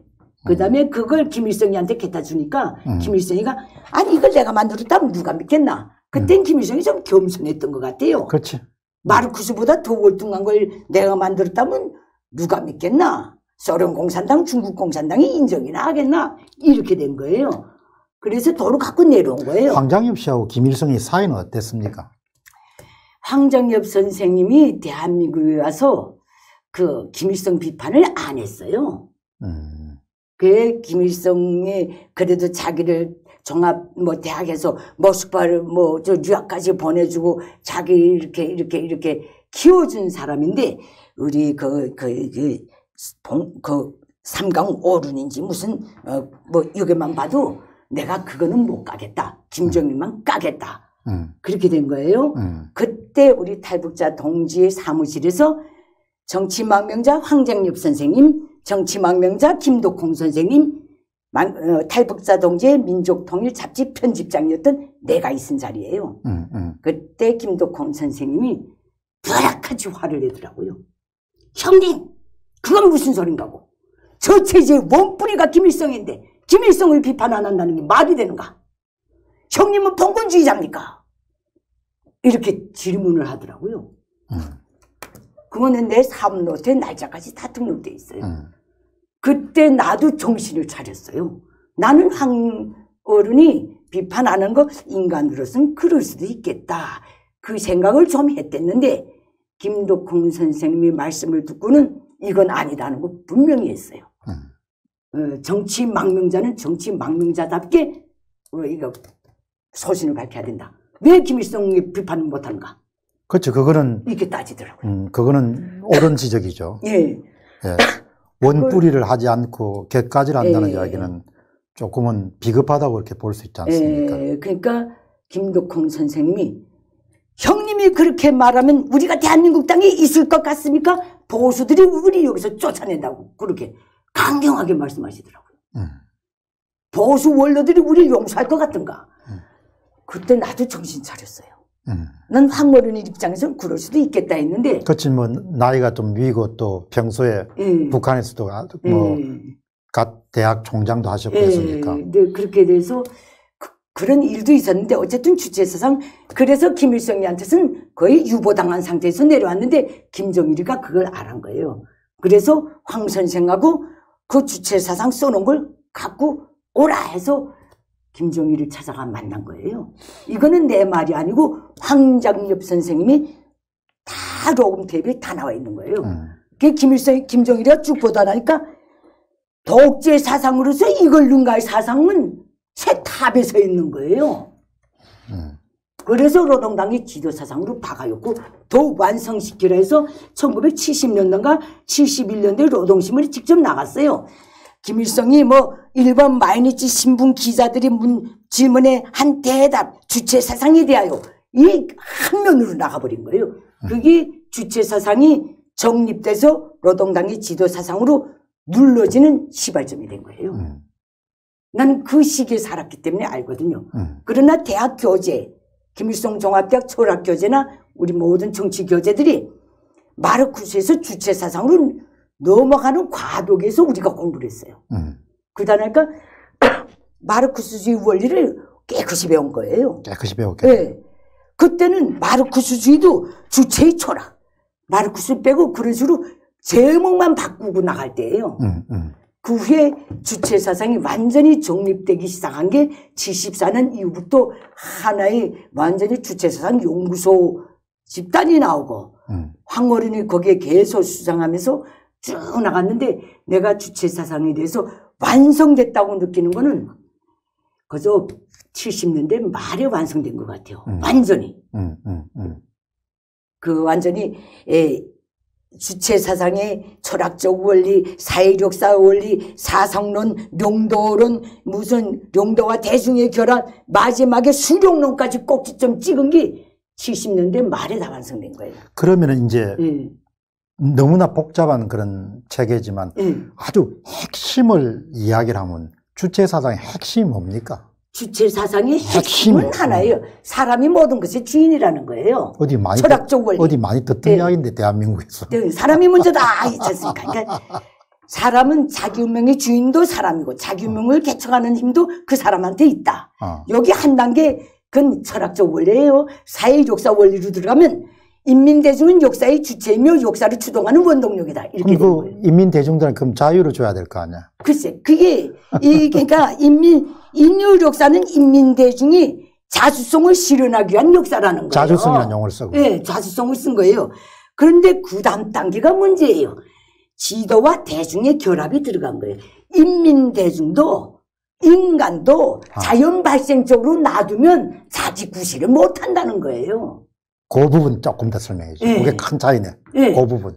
거기서부터 들어가는 거예요. 그래서 그게 뭐가 예. 필요하다고 자주성? 이 그러니까 자주성과 이 역사 역사 사회 역사 원리는 음. 인민대중은 역사의 주체이며 역사를 주동하는 어 그 원동력이다. 음. 인류 역사는 인민대중이 자주성과 창조성을 실현하기 위한 투쟁의 역사다. 이렇게 투쟁이. 딱돼 있어요. 음. 근데 이 자주성도 인민 인간을 낱개로 놔두면 자유 방임하면 안 되고. 자유 방임하면 안 되고. 실현될 수가 없다는 어. 거예요. 그래서 그래서 조직화가 되고 세뇌화가 필요하다는 거예요. 아, 여기서 핵심이 조직화하고 세뇌화가 돼야 네. 자주성이 제대로 발현된다는 그렇죠. 거구나. 그거를 북한은 어, 조직화 어, 사상화가 딱 돼 있는 거예요. 음. 이걸 조직화 사상화는 오직 혁명 조직만이 할 수 있다는 거예요. 음. 그게 노동당이라는 그게 거예요. 핵명이구나. 예. 그게 핵심이구나. 예, 노동당만 있어가지고는 안 된다는 거예요. 음, 음, 음. 이 노동당도 인민대중도 인간 중에서 가장 탁월한 인간이 있다는 거예요. 음, 음. 그 인간은 왜 위대한가? 인민대중의 모든 마음속에 품고 있는 본질과 요문을 그자만큼 그자는 완벽하게 채워나고 있다는 거예요. 그 자가 누구냐, 야. 그자가 바로 김일성 족속이라는 거예요. 아, 그렇구나. 이게 마지막에 수령론으로 딱 떨어지게 되는 그게 거예요. 일종의 플라톤이 이야기하는 예, 철인 예. 사상 같은 예, 그 사구나. 예, 그 예. 위대한 자구나. 예. 음. 그래서 북한에서는 수령은 인민대중이 요구한다고 해서 나타나는 것도 아니고 아니고, 어 무슨 오직 하늘이 내린다. 어, 어. 이래서 김일성 족속의 신격화의 명분을 깔은 거예요. 이런 이야기를 누가 해줄 수 있겠어? 이게 주체 사상의 본질인데 이것들이 주체 사상을 전파할 때 수령론을 딱 빼놔요. 음. 그런데 그러나 모든 원리 그 원리들을 관철하는 과정에서 조직화해야 된다, 사상과 학습을 해야 된다. 이 모든 게 마지막 수령관 수령관이라는 종수리로 가게 한 그 과정인데 음. 요 꼬리 보면 쪽제비 딱 답이 나가야 되는데 음. 주체 사상 신봉자들이 여기까지는 못 간 것 같더라고요. 한국에, 전 세계 전 세계, 주체 사상 신봉자들. 아, 전 세계. 자기네는 자꾸 있다고 하는데 아. 난 모르겠어요. 아. 더 늦어서 신봉자가 됐는지 모르겠는데 그러니까 마지막에 정수리 꼭대기에는 수령관이라는 게 네, 있거든. 수령관이라고 딱돼 그걸 있거든요. 우리가 수령론이라고 하게 예, 되겠네. 수령론, 수령관. 수령이 전지전능하야 예. 수령이 조직화하고 세뇌하의 주체가 되는 거구나. 그러니까 김일성 족속의 명문 중에 혁명적 수령관이란 수령이 인민대중의 혁, 어, 혁명과 건설에서 절대적 지위를 차지하고 결정적 역할을 한다는 관념과 관점입니다. 딱 이렇게 돼 있어요. 바로 그거네. 예, 이렇게 되는 거예요. 그래서 북한이 주체 사상을 쭉 털어보면 수령은 내수, 노동당은 중추, 이 노동당 조직은 몽땅 팔다리고 살덩어리 거기에 붙어서 내수와 중추가 어, 조종하는 대로 움직 그 따라가게 되는 살덩어리가 인민대중이라는 거예요. 그럼 결국은 자주성이라는 것도 나중에 뭐 보니까 뭐 완전히 그냥 지위를 받는 그냥 타율적인 존재로 바뀌, 바뀌어버리네. 수령의 자주성이 인민의 자주성이라고 딱 만들어 놓은 거예요. 이런 극악무도한 사상이 오늘의 북한의 노동당의 지도 사상이고 북한 정권의 지도 이념입니다. 그러니까 뭐 인간은 그냥 완전히 수단이나 도구네. 그렇죠. 그렇게 만들어 놨죠. 김씨 족속들을 위한 네. 수단과 도구를 체계화를 해놨구나, 그냥. 그걸 주체 사상으로 설계된 나라가 음, 오늘 북한이라는 배예요. 음. 그거를 만드는데 황장엽 선생이 젊은 날에 결정적 기여를 했고, 황장엽 선생님은 자기가 만든 그 철학을 김일성, 김정일이가 빼앗아다가 통치 철학으로 만들었다. 황장엽 선생님의 변명은 그거예요. 어. 근데 어떻든 뭐 뭐, 그건 원- 모르겠고, 아, 예, 원재료를 가져다가, 예. 근데 황정엽 선생님이 소신이 있었으면 이 철학이 이렇게 간다면 개발하지 말든지 아예 뭐 쓰레기통이었든지, 또 학자들은 기본적으로 그렇게 개발하더라도 예, 그 결과에 대해서는 좀 책임을 안 지니까. 뭐 아인슈타인이 뭐 예를 들면 상대성 원리를 개발했다 해가지고 나중에 뭐 핵무기가 개발되는 거 어떻게 하겠어요. 예, 그건 모르죠. 그걸 가져다 쓰는데 어떻든 황장엽 선생님이 마지막까지 그 부분에 대해서 죄의식을 가졌죠.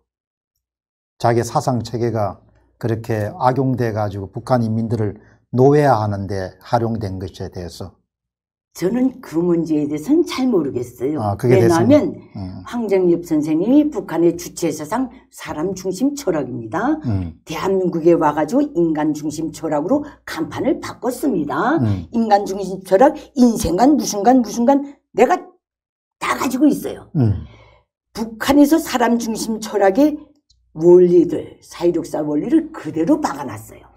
음, 그러니까 황정엽 선생님은 내 사상은 원래 좋은데 좋은데 저 새끼들이 악용했다는 거예요. 음, 음, 음, 음. 그내 사상 체계는 네. 내가 만들어낸 사유의 결과물이라는 것은 상당히 아주 완벽한 그런 완벽한 구조물인데 저걸 저애들이 가져가 가지고 저렇게 악용했다 이렇게 보셨구나. 네. 네. 근데 내가 이- 이 자리에서 내가 왜 황정엽 선생님에 대해서 원래 웬만해서는 얘기를 안 해요. 음, 내가 모셨던 스승이기 때문에. 그러나 이거는 정리하고 가야 될 것 같아요. 언젠가 이제 에, 우리 다 모여서 공부했던 적이 있어요. 음, 다 21세기 무슨 21세기 무슨 지도 이념 그거 가지고 하는데 그때 대한민국의 그 철학 박사라는 젊은 사람이 황 선생님한테 그 질문을 하더라고요. 이 사장님 그러면 이 사장님은 이 주- 인간 중심 철학을 미국 어, 미국이 받아들인다면 아, 아, 이건 미국 사람들도 이걸 알아야 돼 마지막에 결 황어른이 그렇게 말씀하셨어요. 음, 미국 사람들도 이걸 알아야 돼. 이게 인류의 미래야. 이래 놓은 거예요. 그러니까 그 앉아있던 그분이, 예, 그러면, 예, 선생님은 이 인- 인간 중심 철학을 미국이 받아들이면 그 사람이, 예, 우리 한반도가 미국의 한계 주가 돼도, 어, 되겠, 좋겠습니까? 이렇게 물어봤어요. 그런 식으로. 음, 좀 음, 약간 약간 공격적인 질문입니다. 공격적인 질문인데 우리 황 선생의 말씀이 압권이더라고요. 자기는 이 주체 인간 중심 철학을 미국이 받아들이고 국가 정책으로 어, 승화시킨다면 한반도가 무엇이 믿게 주가 뭐되든 뭐든 관계를 안 한다는 거예요. 그때 나는요 진심으로 격분했어요. 미국이 받아들일 일도 없거니와 아직도 그런 관점을 가지고 있는 데 대해서 북한을 저생지옥으로 만들어 놨으면 됐지. 그 끝에 자기 철학에 대한 애착은 이해하겠어요. 음, 그건 애착은 이해하죠. 그러나 그런 야망을 품는 데 대해서는 감히 그렇게 발언한 데 대해서는 야 용납이 안 되더라고요. 음. 그것도 내 로금 개입에 다 있습니다. 그리고 또 이제 예, 그런 체제에서 고초를 겪으셨으니까 더 그렇게 예. 그 이야기가 나오는 것에 대해서 굉장히 좀 화가 났겠네. 그러나 나는 그거는 그 사람이 개인의 체현된 문제고 음, 그러나 황정엽 선생님이 무슨 이유에서든 어떤 명분을 어, 속으로 생각하고 대한 어, 망명에서 대한민국에 왔건 간에 그거는 차치하고라도 당 북한 체제의 노동당 사상 담당 비서로서의 타이틀을 가지고 정치 망명 대한민국으로 함으로 해서 체제 경쟁에서 북한의 근간을 흔들어 놓고 꺾어놓은 데 대해서는 황정엽 선생님이 지대한 업적은 항상 존경합니다. 음, 하, 예. 김길선님께서 또 운영하시는 유튜브 방송, 유튜브 채널이 김길선의 평양 만사입니다. 여러분이 아마 방문해 보시면은 아, 자극적이지 않으면서도 굉장히 북한을 알릴 수 있는 정보면에서 굉장히 고급진 정보를 갖고 있으니까 꼭 찾아보고 즐기시고 또 구독도 하시고 그렇게 해서 적극적으로 지원을 해 주시기 바랍니다. 김길선의 평양 만사입니다. 감사합니다. 한번 보시죠. 예. 이제 주체 사상의 이제 예. 마지막 단이 이제 사람을 결국 이제 예. 조직화하고 세뇌화하는 건데 예. 어떻게 조직화하고 세뇌화를 합니까? 그 조직화의 그 공산주의자들은 모든 혁명 운동은 대중 조직화로부터 시작된다고 깔고 있어요. 음, 조직화부터 시작된다는 것. 그러면 수령이 김일성 족속이 인, 인민 대중의 리상을 실현하기 위한 김일성 족속이 이 그 리더는 음, 리드하는 용도는 전체 민을 조직화해서 수령이 수령 족속이들이 똘똘 뭉치게 할 때 엄청난 파워와 에너지를 가지고 나간다는 거예요. 음. 음. 이래서 조직화가 나오는 거예요. 음. 모든 공산운동은 대중 조직화로부터 시작된다. 이게 저자들이 조직화에 대한 기본 베이스예요. 음. 극하고 사상화, 조직화된 군중도 이게 변심이 안 되게끔 음. 계속 사상 세뇌를 해야 된다는 거예요. 음. 정치적인 교양을 끊임없이 받아야 된다는 거예요. 음. 그렇지 않으면 항상 네, 바뀔 수 그렇지. 않으면 같은 조직에 묻어다니면서도 딴 생각을 하고 파벌이 나오고 대중이 단결되냐 단결될 수가 없다는 거예요. 음. 이래서 이 조직화 사상화는 조직화 그다음에 세뇌화 음. 이거 정치화는 어 김일성 족소 그건 더 말할 것도 없고 모든 공산주의 운동에서 양지평인 지팡이나 같아요. 음. 대중 조직화하고 얘들을 그 사상 투지를 어, 계속 고양시키는 정치는 음. 정치 사업은 이거 스키가 나면 양쪽이 이거나 같아요. 음. 그렇게 되는데 오늘 북, 어, 북한은 이 조직화에서 동서고금의 그 어느 국가도 실현시켜 본 적이 없는 경지에 올라가 있는 거예요. 음. 노예 제도에서의 노예들에 대한 관리, 음. 출, 봉건 제도에서의 그 어떤 신분적 제도에 기찬 에, 말하자면 모든 국민 관리술, 음. 전체주의 국가 하나는 전체를 위하여 전체는 하나를 위하- 위하여라는 슬로건에 기초한 조직화. 전. 전체는 하나를 위하여 네, 하나는 하나는, 전체를 전체를 위하여. 여기서 하나는 전체를 위하여는 수령은 어, 인민을 위하고 인민은 수령을 위한다는 건데 그건 말도 안 되죠. 음. 수령은 인, 인민을 노예로 만드는 걸 위한다고 보는 거예요. 음, 음, 음. 그렇게 하고- 이제 말을 만든 예, 거지. 만든 거예요. 음. 그다음에 궁극지 모든 국가의 모든 운용 방식을 전시 상태에 맞먹게끔 만들어 놓은 거예요. 음, 음. 그러니까 이건 항시 군사동원 상태에 있는 거예요. 북한 주민들은. 음. 이걸 들어갔죠. 신종주의를 했어요. 수룡은 신이다.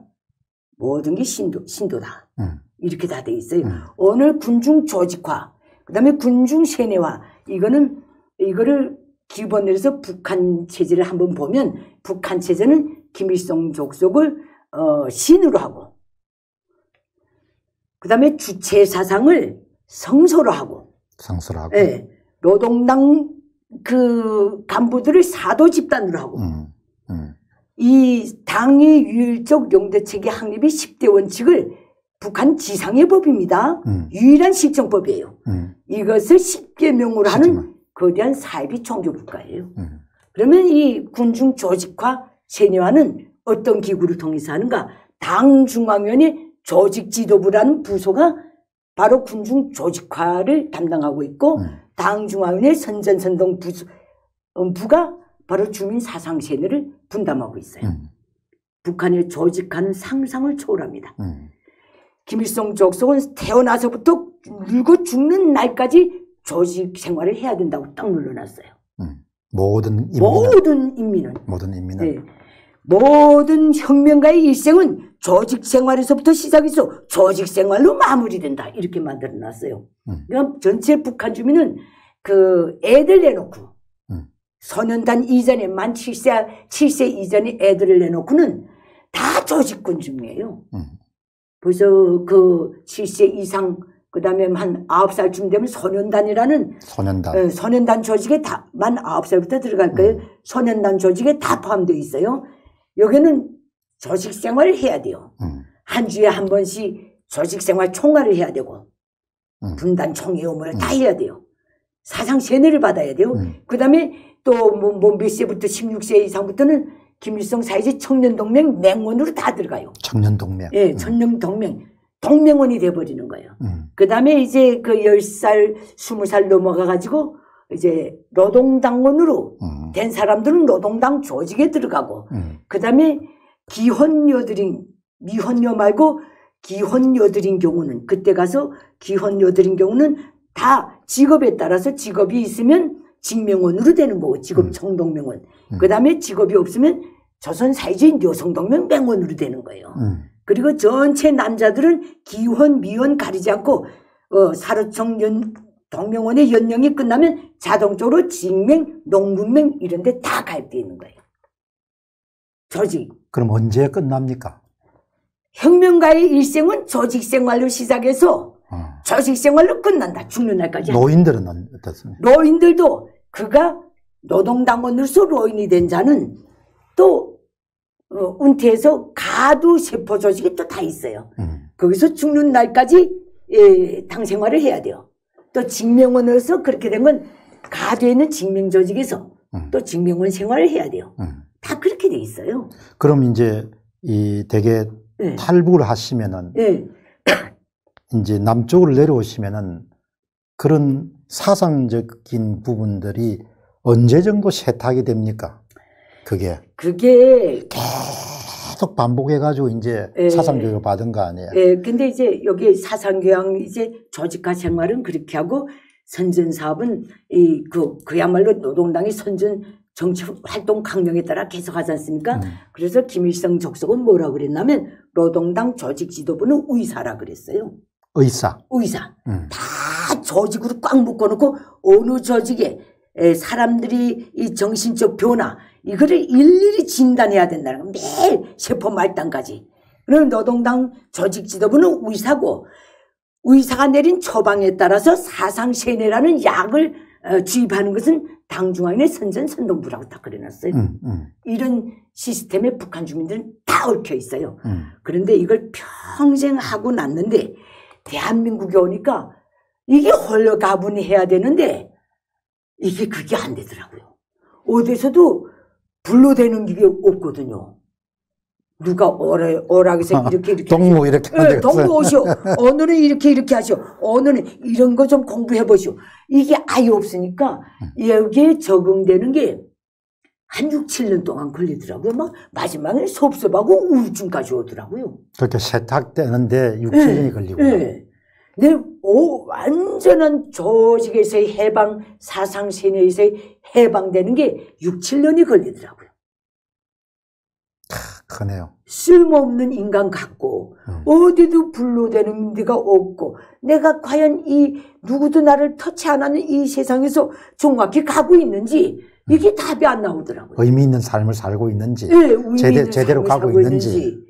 내가 정말 이 사회에 필요한 국민으로 거듭나고 있는지 음.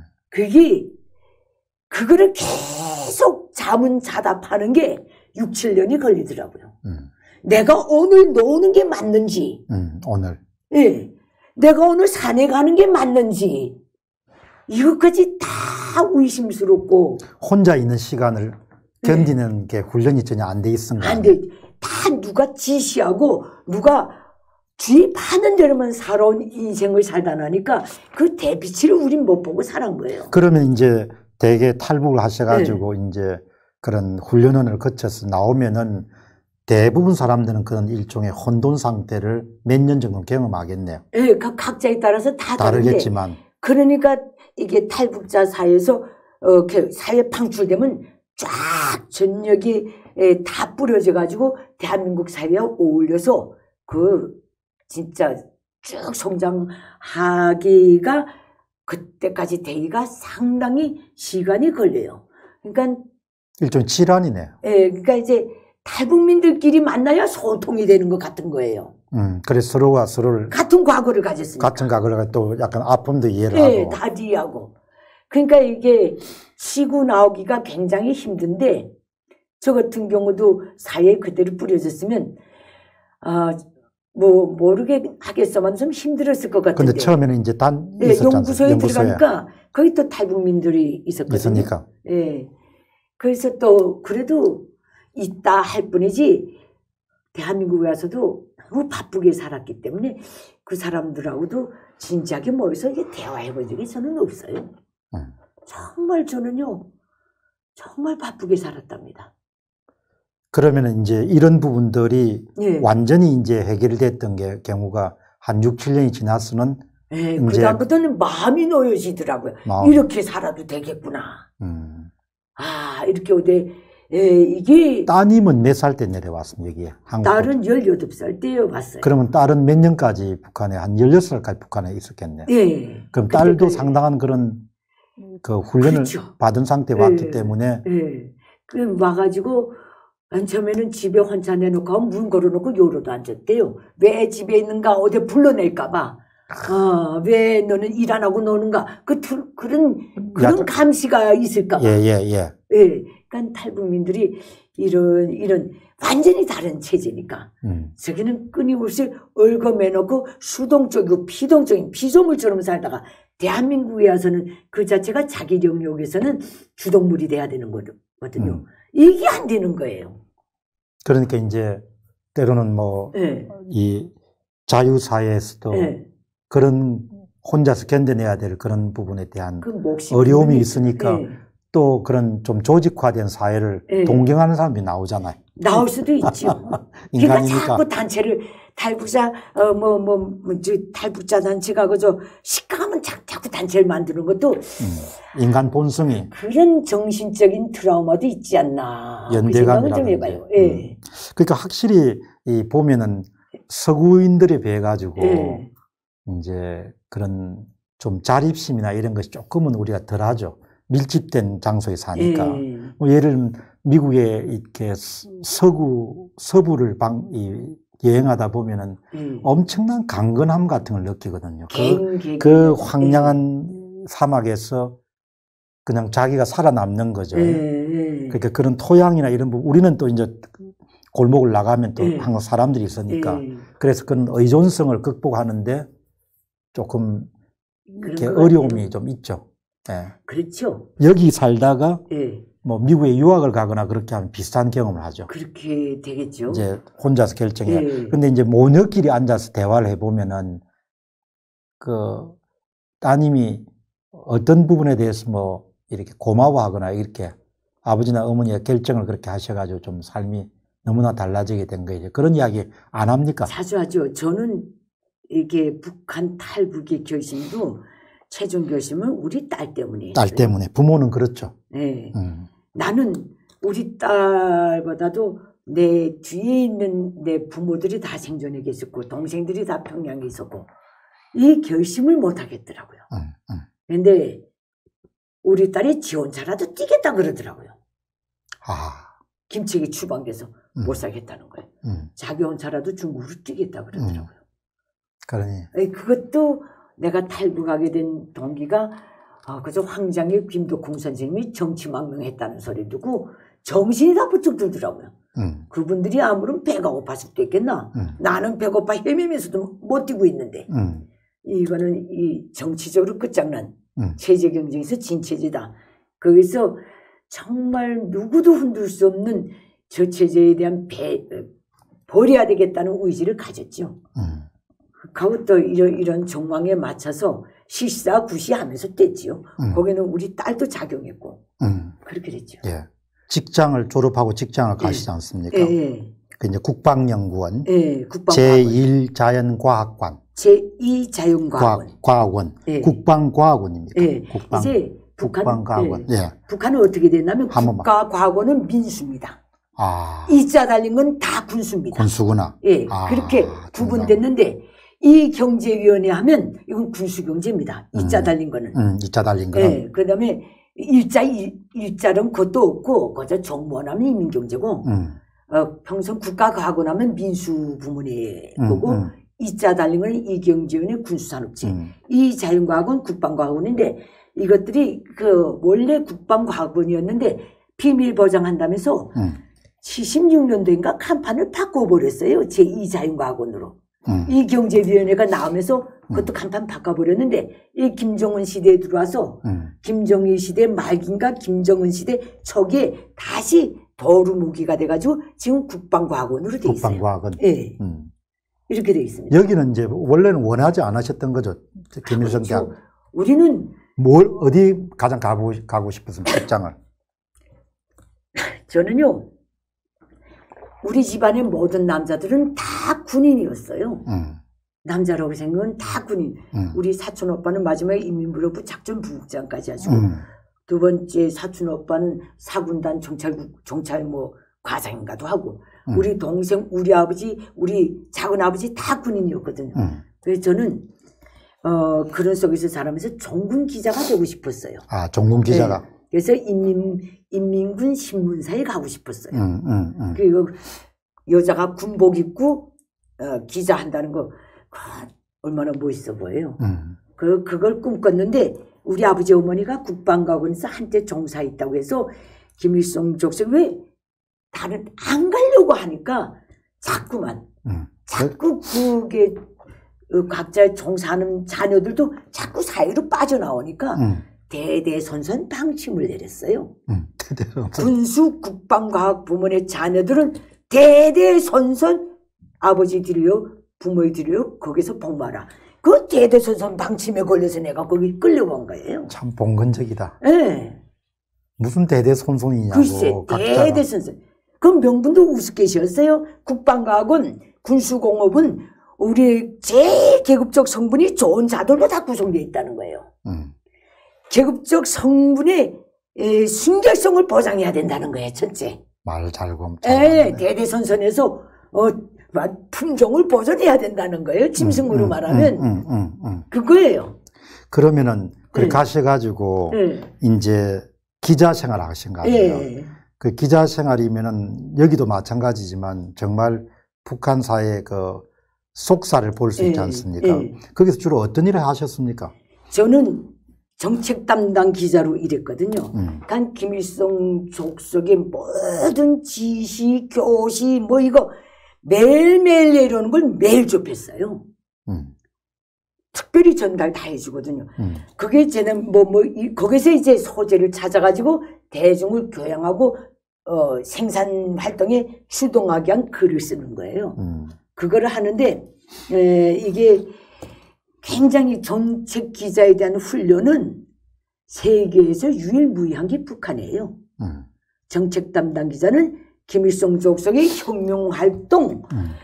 큰 모든 거 똥집까지 알아야 돼요. 음. 그걸 다 기억하고 글 나올 때는 그 기자들이 욕구, 본성, 요구에 맞게 쓸 수 있는 준비가 딱 돼 있어야 돼요. 음.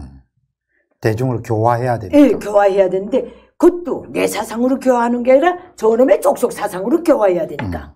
그참 예. 완전히 그쪽 사람이 돼 봐야겠네. 예, 그러니까 항상 김일성 족속의 그 모든 예, 이게 그걸 가지고 거기서 어, 글 쓰는 주제를 찾고 정자를 심고 모든 언어 선택도 그 원문에 준해서 딱 해야 돼요.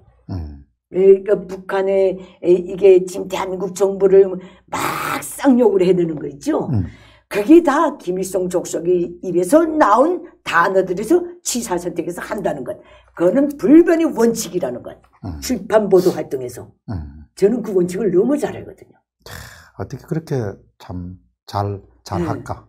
욕하는 데는 욕하는 거, 뭐, 에이, 공격하는 거. 에이, 그건 완전히 뭐 더럽게 욕하잖아요. 예. 근데 그거를 하자니까 정책 담당 기자에 대한 훈련은 상상을 초월해요. 음. 모든 노작요 뭐요 다 암기해야 돼요. 지시문들 다 암기해야 돼요. 그러니까 지금도 암기력이 뛰어나시겠네요. 아까 뭐 날짜 기억하는 거 보고 내가 깜짝 예, 놀랐거든요. 그거 그 지금 그래서 그 암기를 부단히 반복하다 나니까 김일성 족속의 야망이 뭔가, 김일성 그렇지. 족속의 국가 비전이 뭔가, 김일성 족속이 이걸 세워놓기 위해서 수립한 시스템이 어떻게 되어 있는가, 의도가 뭐 지금 예, 뭔가. 이 작동 원리는 어떻게 되어 있는가, 음, 음, 이게 골수에 딱된 거예요. 음, 그러니까 북한 체제를 분석하는 데서는 별 막힘이 없어요. 음. 훤히 보이겠네요. 다 보여요. 음. 기침하면 왜 기침했는가도 그 본질을 음. 딱 보게 돼 있어요. 그걸 17년 동안 했다고 상상해 보십시오. 그 어떤 일을 열심히 10년 이상 하면 네. 그냥 되게 경지에 오르지 않습니까? 그런데 이제 제가 대한민국 조사기관에 또 왔을 때 북한에서의 경력을 써내지 않습니까? 음. 근데 몇, 몇 년도부터 몇 년도까지 김일성 종합대학 졸업, 몇 년도부터 몇 년도까지 제2자연과학 출판사 정책 담당 기자, 몇 년도 탈북, 속줄이었어요. 아, 몇 년도 추방. 음. 그난 속줄 쓰면서 내가 헛살한 것 같아서 난 왜 이렇게 단순하게 살았지 하고 난 이것밖에 없습니다. 냈어요. 경력을. 그러니까 대한민국 조사관들이 수준이 얼마나 높은지 압니까? 이걸 보니 당신이 어떻게 살아왔는지 물어보지 않아도 답이 나온다 하더라고요. 음. 직업이 딱 하나밖에 없었으니까 공식 직업이. 정책 담당 기자 하면서 네. 음, 아주 지금까지 머릿속에 딱 남아있는 그런, 그런 일종의 예화, 좀 인상적인 네. 거, 들려주고 싶은 거. 그거는 너무 많지요. 어, 그거는 너무 많아요. 나는 제일 코믹한 걸 하나 얘기해주고 싶어요. 음, 1987년 4월 11일, 예, 이거는 정확한 겁니다. 음, 내가 현직 기자, 4월 11일 김정일이가 두 번째로 국방과원을 찾았어요. 음. 오래간만에 왔네요. 예, 뭐라고 했는지 알아요? 아, 중거리 하는 거 보니까 이젠 위성해도 될 것 같다는 거예요. 위성 개발하자! 그랬어요. 음.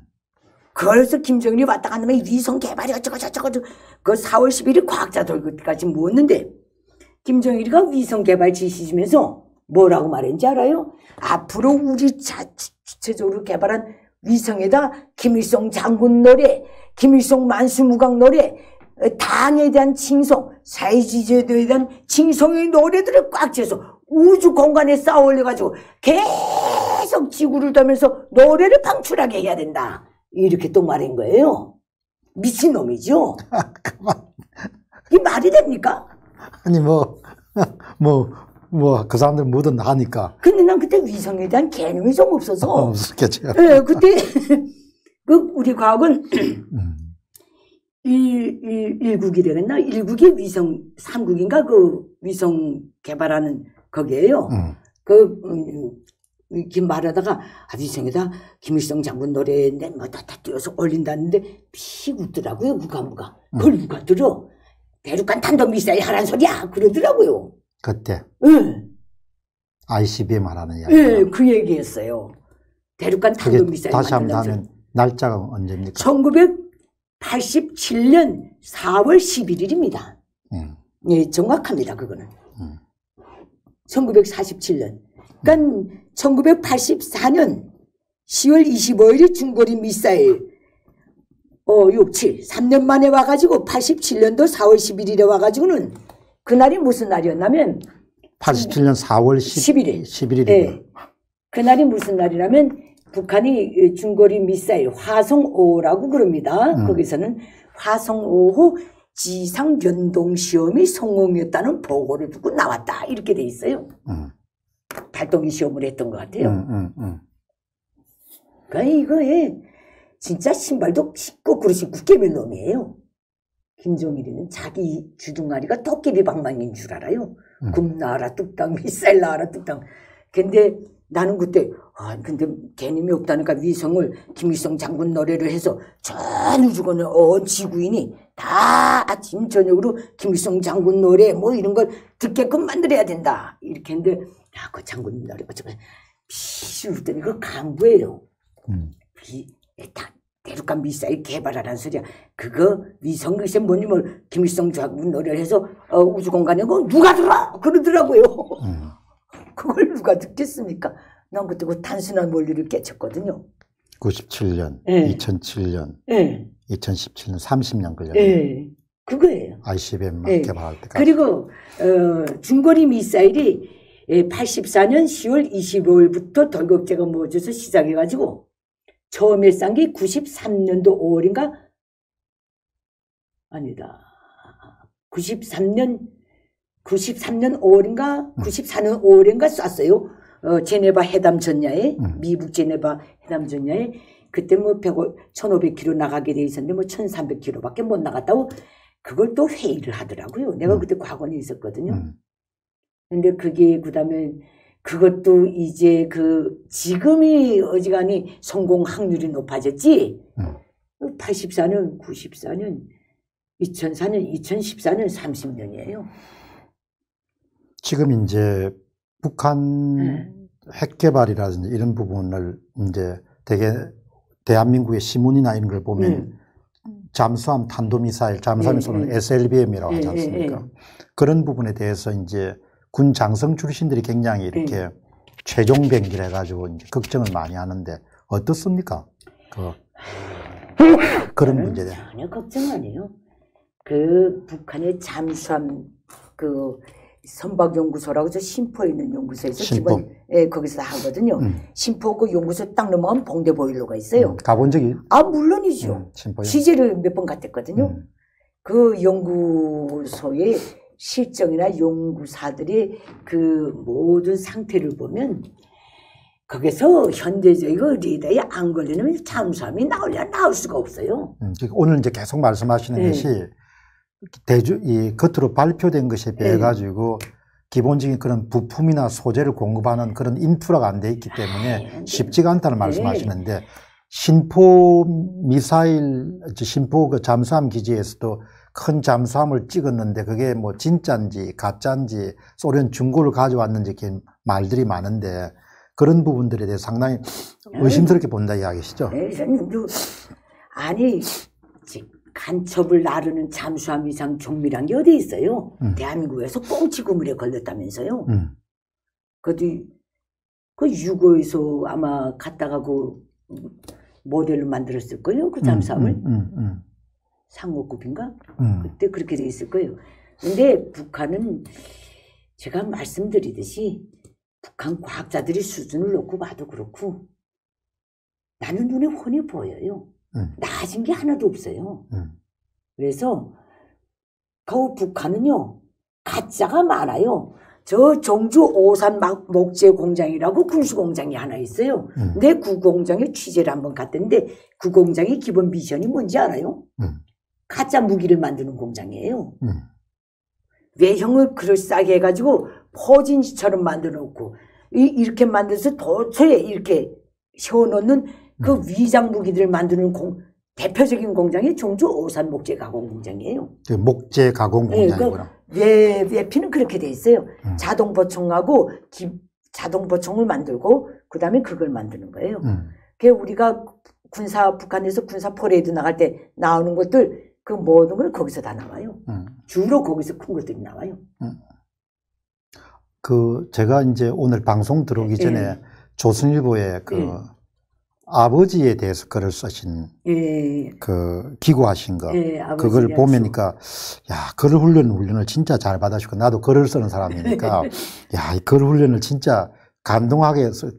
그 이제 아버지가 그런 예. 그뭐 자기가 평생 동안 예. 받으셨던 그런 그거 이야기 한번 해주시죠. 예, 아버, 아버지하고 관계는 어땠습니까?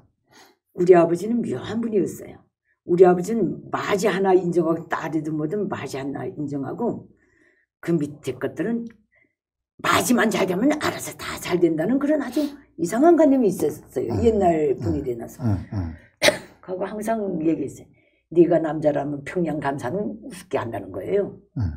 근데 그렇게 했는데 저희 아버지는 정말 어, 6.25 전쟁 참전 중국인민지원군 응, 탐지기 부대로 해가지고 참전까지 했댔어요. 응.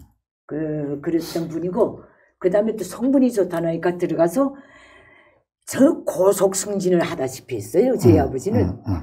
들어가자마자 북한군 군관이 되고 사병뭐 그런 것도 없이 그군 보위사령부 당위원회 오래 계셨어요. 응, 지금은 보위사령부고 그 전에는 인민무력부 보위부였어요. 응. 거기 오래 계셨어요. 저희 음. 아버지는 굉장히 정직한 분이었어요. 음. 언젠가 계속 식사도 저희 아버지는 항상 그는 간첩이 아닌데 걔는 간첩이 아닌데 술을 많이 마셨어요. 사람 자비하는 기간에 있다 나니까 그게 그분한테는 엄청난 스트레스였던 것 같아요. 가만히 계시보시죠. 예. 이제 보이부라는 이야기가 예. 자꾸 나오는데 예.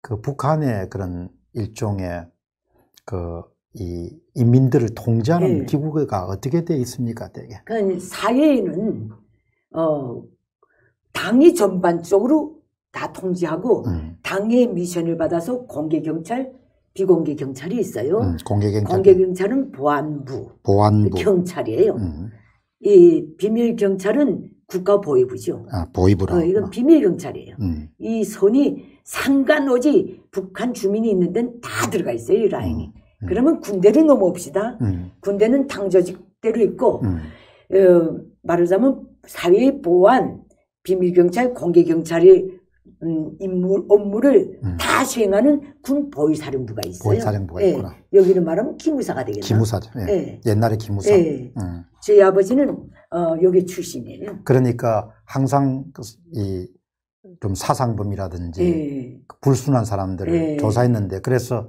술을 좀 많이 예, 저희. 아버지는 술을 많이 마셨어요.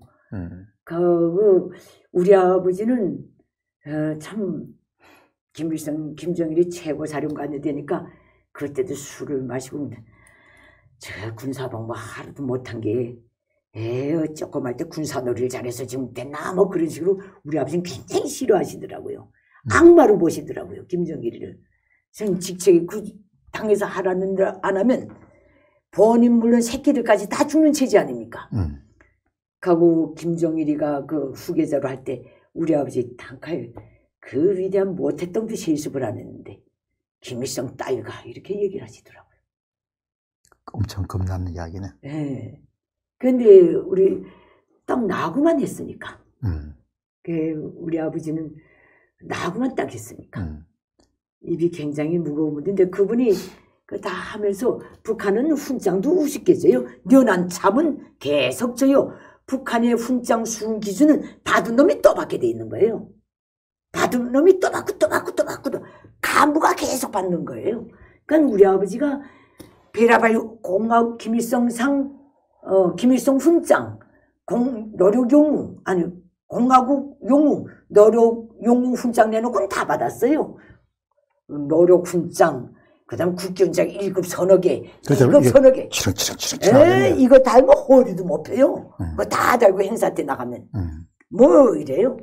많은데 그때 우리 아버지는 알았지요. 저체제의 그, 문제점은 그 문제점은 이미 중국에서 오래 사셨고 그랬던 분이니까 중국이 개혁개방하는 것도 보면서 그걸 알았죠. 그러니까 내가 한번 저 탈북전야에 집에 들어갔던 적이 있거든요. 음. 그때 우리 아버지 내가 어자 새까매가지고 뼈만 남아가지고 딸 끌고 들어오니까 우리 아버지가 그때 막 우시더라고요 저녁에 아 그렇게 기대했던 딸인데 에 그렇게 에 정말 장중복처럼 여겼던 딸인데 음. 잘 나가던 딸인데 음. 극거리에 대해서 나타나니까 우리 아버지가 그때 막 상당했던 것 같아요. 음. 그러니까 그렇죠. 이제 훈장 자루를 꺼내오더니 내 앞에다 쫙 쏟아 놓으시더니 이걸 다 준데도 쌀한 킬로를 바꿀 수가 없다 그러시더라고요. 음. 그때 나는 우리 아버지 뜻을 정확히 알았죠. 빨리 뛰라는 그때 메시지로구나. 그때가 90한 6년, 음, 7년 정도 됩니다. 97년 4월 달이었어요. 90년 4월 달에요. 네. 그러면은 이제 그 고난의 행군은 네. 평양에 계셨으니까 조금 덜 하셨죠. 충격. 그걸 실상은 에, 그때 기자니까 아셨습니까? 아, 고난의 행군은 뭐, 북한은 내, 놓고 보면, 저 76년간 고난의 행군, 이름만 바, 이렇게, 아. 이렇게 해서 76년간 고난의 행군하는 나라고요 음. 내가 알았죠. 그건 하나의 정책적인 그 슬로건이니까, 음. 고난의 행군이라는 건, 그거 다 알지만은, 고난의 행군이 왜 나오게 됐는가 하는 것은 김책에 추방돼서 정확히 알았죠. 음. 네. 내가 김책에 추방될 때, 지금도 그날은 잊혀지질 않아요. 그때가 매- 언제죠? 95년 12월 31일 날에 음. 김책에 도착했습니다. 그 추울 때 그 다음날이 1월 1일 설날이었어요.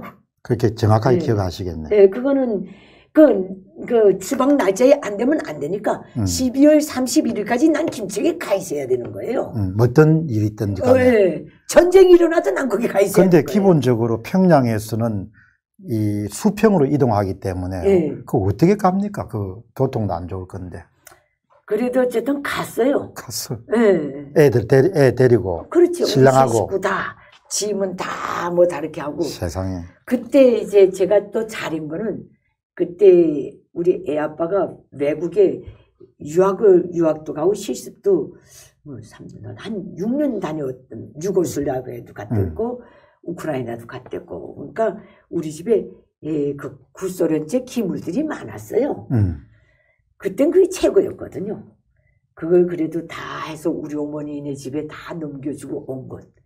극하고 거의 알몸으로 김책에 내려간 거예요. 예 하루아침에 그렇게 문제가 생겨가지고 일종의 중국으로 하면 하방이잖아요. 예, 하방 정도도 아니 완전히 그냥 이 그냥 그렇죠. 이 그걸 뭐라고 하면 숙청된다는 겁니까? 그거 좀 그렇죠? 이야기해 주시죠. 근데요, 사람이 묘해요. 그, 제가 그, 국가보위부가 아니고 노동당 조직지도부 10호실에 잡혀갔댔거든요. 음. 10호실이라는 사찰 기구가 있어요. 그게 되게 몇 년입니까? 상설기구. 그게 내가, 음, 1995년 예. 8월 말에 잡혀갔어요. 음, 8월 말에. 아, 내가 90원, 90, 95년, 아, 맞아요. 맞- 95년 8월 말에 음. 잡혀갔는데 딱 40일 들어가 있었어요. 음. 근데 그거 진짜 성예림이 때문에 잡혀갔거든요. 김, 성혜림을 본 적이 있습니까? 그 영화에서는 많이 봤죠. 음, 그거, 어, 북한 주민들이 다 알아요. 음. 근데 나는, 성혜림이 여기에 예, 저 장령 장령 출신이죠. 장령에 굉장히 예, 큰 예, 집안 여기, 출신. 저, 여기 있다가 이남에서 올라간 올라간 분- 거죠. 분이니까. 음, 근데 나는 기자 생활에서도 얼마나 그 비밀단에서 생활을 오랫동안 했는지 얼마나 고정하게 살았는지 1994년까지도 그런 일이 있었는 줄 몰랐던 거예요. 음, 성예림하고 김종일의 관계를 음, 아예 몰랐던 거예요. 음, 음, 아 95년도 초에 그말 듣고 닝큼 놀랐어요. 음. 뭐 이런 일이 다 있나 하고 누구 함께 들었습니까? 아, 이게 또, 그것도 이게 남한 출신이에요. 그 전쟁 때 엄마 둥이, 어, 어, 이 저기 정준택이라고 있죠? 북한에 국가계위원회 위원장 했던 음. 남한 출신이에요. 정준택이 사촌 동생인지 친동생인지 정기택이라고 있어요. 음, 음, 해방전에 동아일보 기자를 했대요. 음, 음. 이 양반이 어떻게 월북한 아, 사람이구나. 월북한 이 사람은 월북을 못했던 것 같아요.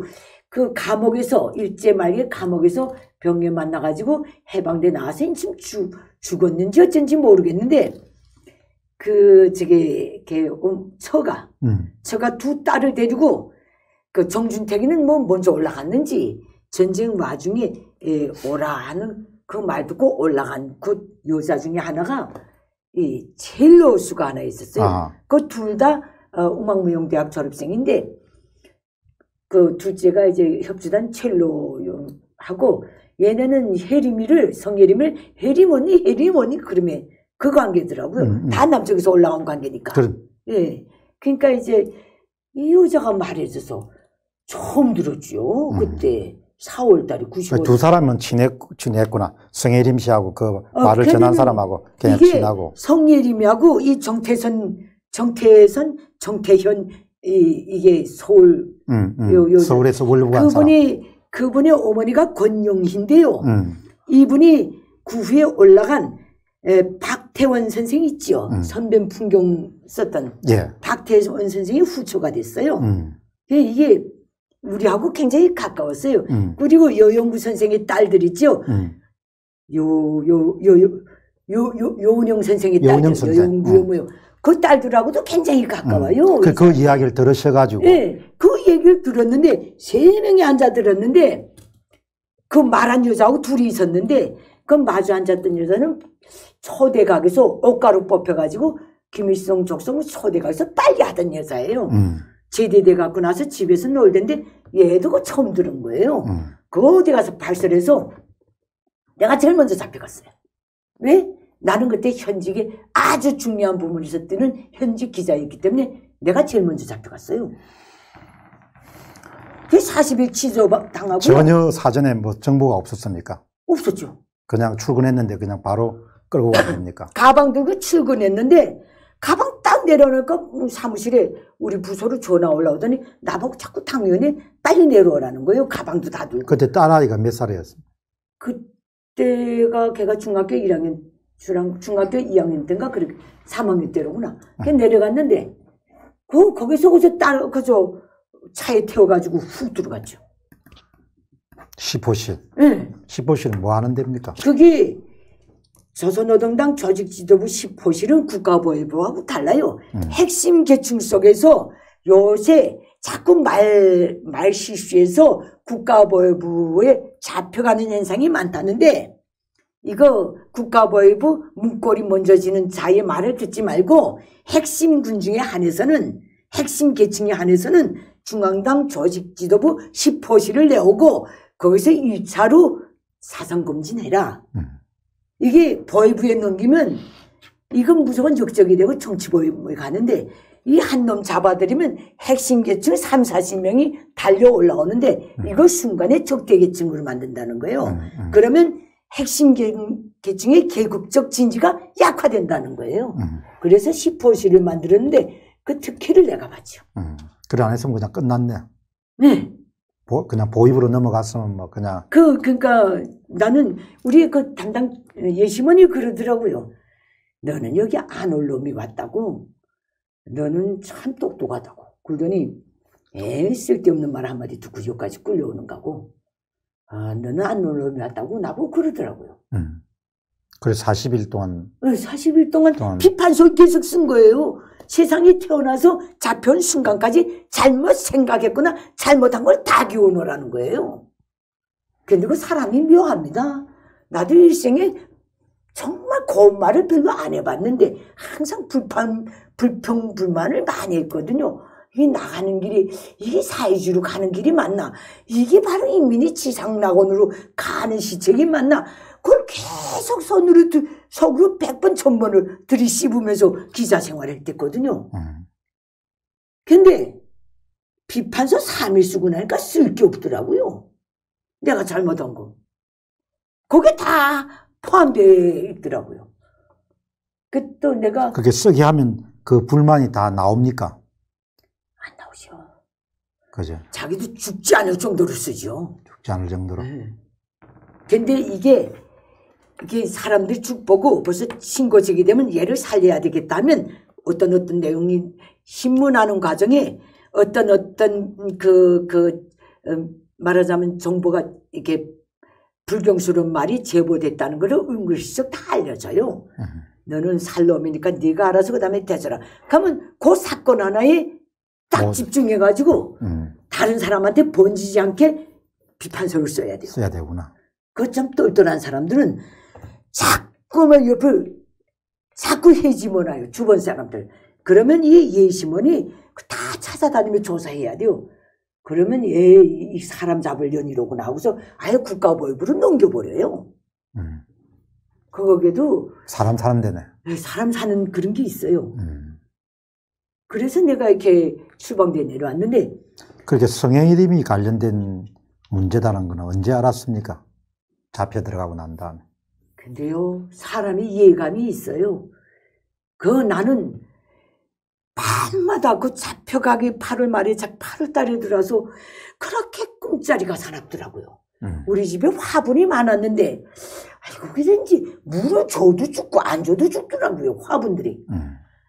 아, 이게 왜 죽지? 그렇게 잘 자라던 화분들이. 음. 그 우리 집이 딱 평양 어, 김일성 광장 옆에 일베 가슴 앞에 열 그 보수 분기점에 딱 있었거든요.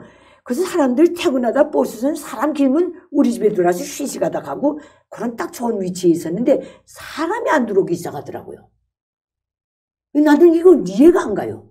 그러더니 그 다음에 8월 달에 들어서서는 꿈자리가 그렇게 사나울 수가 없는 거예요. 음. 지역에 12번도 갔다 오는 거예요. 음. 이번 일이 터졌구나. 한만 올리고 내리웃고 해봐도 음. 제일 터질 수 있는 게 그것밖에 없는 거예요. 그거 들은 거. 네. 성혜림 관련된 네. 거. 그것밖에 없는 거예요. 그 북한은 들은 자도 잡아가고 말하는 자도 잡아가는 체제니까 음. 그것밖에 없는 거예요. 그래서 사전에 이런 일이 있을 수 있다는 거는 예감을 했댔죠. 음. 아, 그래서 항상 감사해요. 나한테 그런 촉감을 준 천지에 대해서. 그렇게 이제 시달리다가 네. 언제 방면을 시키던가요? 사, 8월 27일 북한 청년절 날에 들어가가지고 10월 딱 40일이 있었어요. 내 생일이 끝나고 내가 10월 3일 생이거든요. 음. 생일 며칠 후에 내가 놓여 나왔어요. 음. 내가 숫자에는 그런 데는 좀 약해요. 놓여 나와서 그 다음에 이제 12월 30날에 추방명령을 받았죠. 근데 얼마나 시원한지 압니까? 그거 하면 울고 통곡할 것 같은데요. 추방 명령을 받았을 때. 추방명령 받고 나니까 날아갈 것처럼 속이 시원해요. 그거 한 번 그렇게 지옥에 갔다 오니까요. 그 내가 거의 20여 년을 난 자란 평양시가 음. 낯설게 보여. 다 낯서고 다 밉고 다 증오스러워요. 아무 죄도 없이 잡혀가서 매일 죽인다 살린다 그 말만 듣다 나오니까 그렇게 경쾌하게 건너던 우리 집에서 옥류교를 건너야 우리 직장이거든요. 그렇게 얼마나 떨어졌습니까? 직선 거리로 하면 한 천, 천 메다 정도 되겠나? 그렇게 참 그러니까 평양 시민 가운데서도 참 제, 그래, 중심에. 괜찮 참 잘 살았네. 예. 그냥 직장도 천 미터고.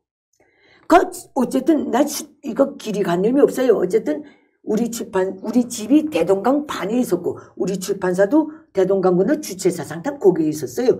이거 지름으로 우리가 2월 달에는 그 강이 얼어요. 음. 그럼 우리 오름판 타고 직장 다닐 때는 그래서 30분이면 넘 나들고 집에서 안 올 때는 옥류거를 돌아서 가거든요. 음, 이럴 때는 한 40분 정도 걸려요. 음. 그렇게 아주 네, 가까웠댔어요. 그 이렇게 편안했던 네. 장소가 일단 한 번 40일간 고생하고 오니까 다 빼기 싫고 다 보기 싫고 제일 악이 나고 그때는 나도 내가 알리더라고요.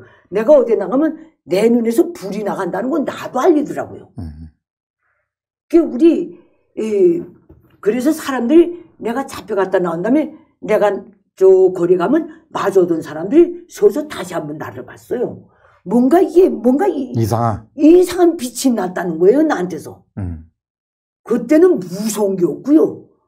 아이 말하자면 너무 악이 나고 개 같은 세상이로구나. 아, 이 저주받는 족속이로구나. 이게 그래서 골수에 배서 나온 거예요. 그 시포실이나 보이부에 끌려 들어가면은 네. 그러면 손을 쓸 수 있는 방법은 없습니까? 뭐 돈을 좀 준다든지 이런 거. 아니요. 안 돼. 이 국가보위부는 그거 가능하겠는지 모르겠는데 시포실에 끌려가는 거는 그때 김정일입니다. 김정일이가 건별로 사인합니다. 나도 김정은이 사인을 받고 들어가 김정일이 사인을 받고 들어간 거예요.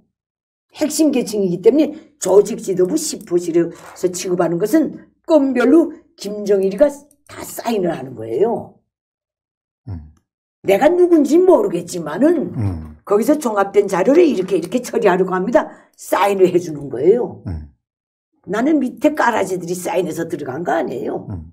그래 가지고 이제 네. 이제 결국 추방 명령을 받아 가지고 그럼 추방 명령을 받으면은 김책시로 간 거 아니에요? 네. 김책시면 저 옛날 어, 옛날 성진이지. 성진이죠, 네. 그죠? 그럼 김책시를 갔을 때는 김책실에는 이제 업무가 배당된 겁니까?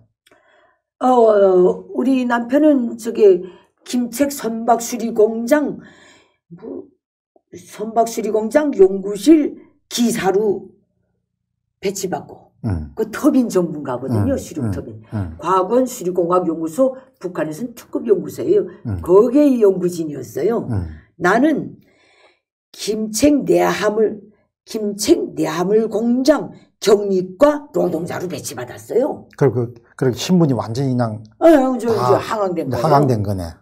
근데 배치 받아 갖고 가서 그래도 평양에서 살던 관심이 있어가지고 배치장 들고 내화물 공장 가니까 공장에 문을 닫아버린 거예요. 운영이 안 되는 거예요. 누가 내 배치장을 받아줄 사람도 없고 그 깡짜로 놀았어요 집에서. 그 배급은 아, 거긴 원래 배급을 안 주는 데니까. 그럼 어떻게 먹고 삽니까? 그래도 살아남았어요. 그게 97, 음, 예. 그게 90, 90, 96년 96년 1월 1일, 1일, 예. 1일 1일부터 예. 이제 1월 1일 날 출근했는데 문을 닫았어. 1월 3일 하고 뭐 들고 뭐 우리는 배치장 받으면 3일 내로 가야 된다는 거 규정이 이 몸이 배서 가니까 공장 문 자체가 다 닫혀 있고 언제 돌렸는지도 모르겠어요. 근데 그 선박수리 공장은 운영되는지 우리 남편은 출퇴근 하더라고요. 음. 근데 뭐 배구표를 주니 배급을 줘야 뭐 배구표를 써먹죠. 그때는 우리 평양에서 그쌀 가져간 것도 있고 또 기물들을 많이 중요한 건 내놨으면 가지고 내려간 거 하나하나. 팔아먹으면서 그 김치 콜리게들한테 엄청 협작당했어요. 협잡을. 우리 장사 못하니까 벌써 얼마나 좁은 거라는지 평양에서 이런 에 종합대학 김책공대 졸업한 애가 딸 하나 데리고 추방대 내려왔다. 그저 3, 4일 내 김책 바닥에 다 알아요. 음. 그렇게 좁은 동네고 후진 동네 내가 거기 가서 북한 주민들이 이렇게 우매하구나. 걸음걸음 느꼈어요. 아, 김일성이가 배급, 김정일이가 배급을 안 주는 걸 모르더라고요. 그러니까 평양만 살았으니까 그래도 네. 일종의 상류사에 산 거 아닙니까? 네, 우리는 그래도 배권이 있었고 또 그게 다 공급 대상이었어요. 음. 기자 구수도 높고 음. 일을 많이 하고 간부들 내가 전병호 당중앙일 비서 군수 담당 비서 전병호 음. 당중앙일 그때 검열위원장 어, 경 검열위원 경제 그 했던 한성룡 비서 음. 그다음에 연영무 비서 그다음에 이경재 위원장 김철만이 이 사람들 글을 다 썼었어요. 음. 이러저러한 기회에 그 사람들이 나밖에 안 불러요. 글을 빨리 감동적으로 음. 짧게 쓰니까 저기서 글 쓴다는 거는 시간이 없어요. 오늘 받으면 내일 저녁에 내야 돼요. 그 속도에는 나를 못 따라가니까. 그러니까 그걸 17년간 훈련을 받았으니까 뭐. 예. 그러니까 이, 이 사람들이 이렇게 저렇게 또 그 선물을 받는, 받는 사람들이 음.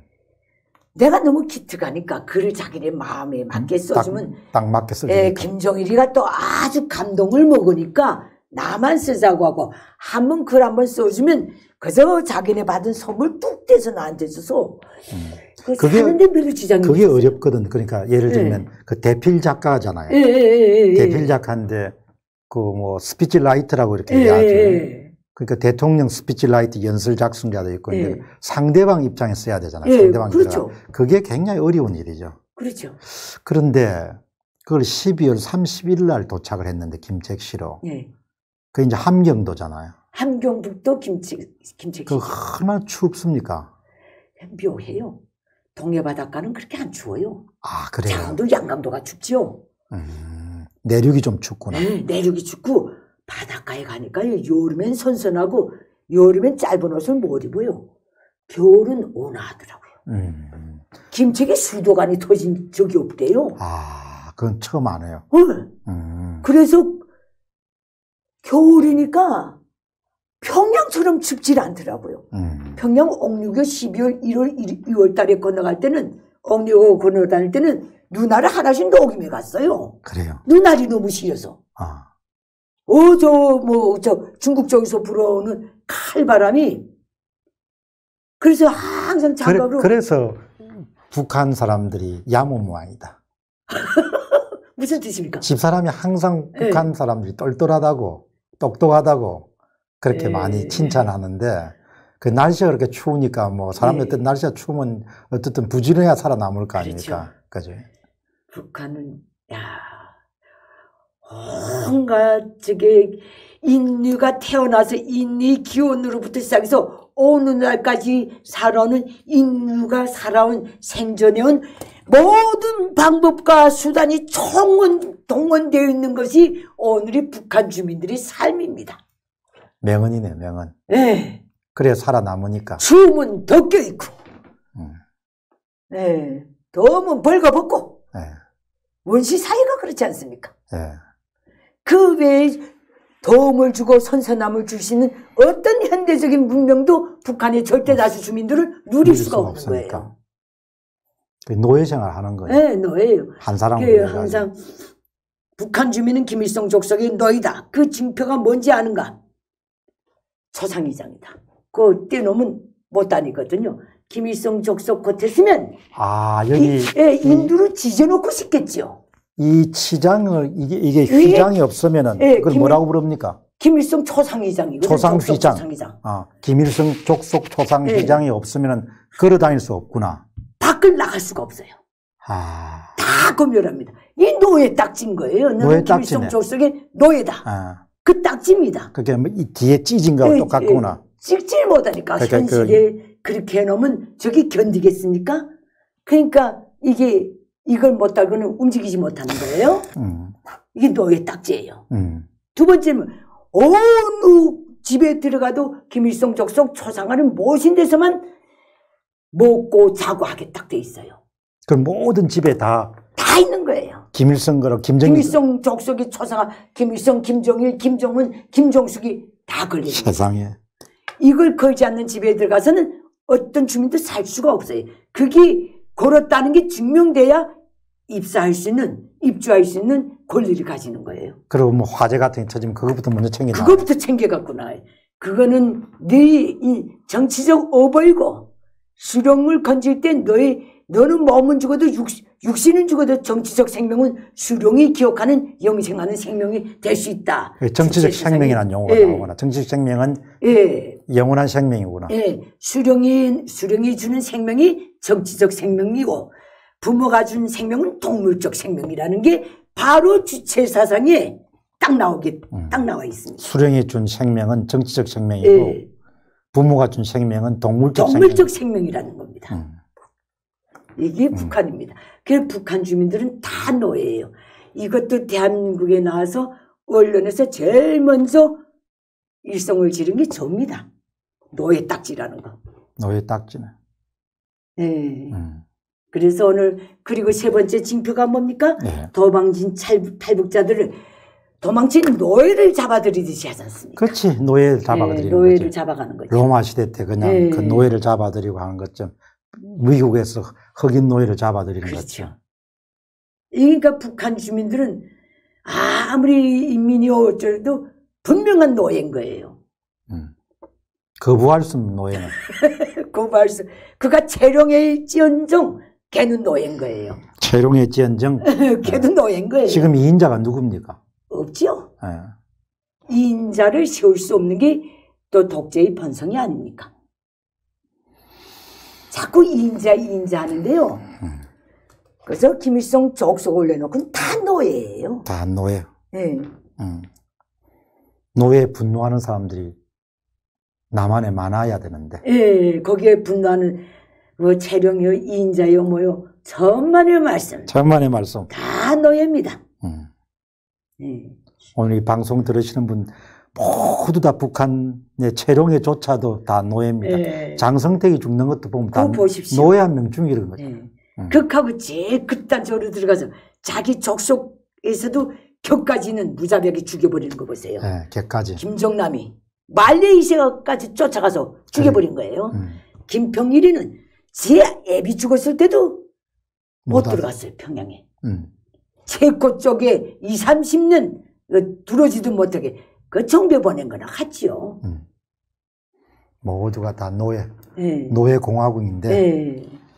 그런 노예 공화국에 분노하는 사람이 자꾸 많아져야 되는 거죠. 그렇죠. 그래서 제가 이 평양 만사를 할 때도 음. 북한 지금 목적이 있어요. 음. 북한을 정확히 디테일하게 음. 저놈의 족속의 국가 비전, 음.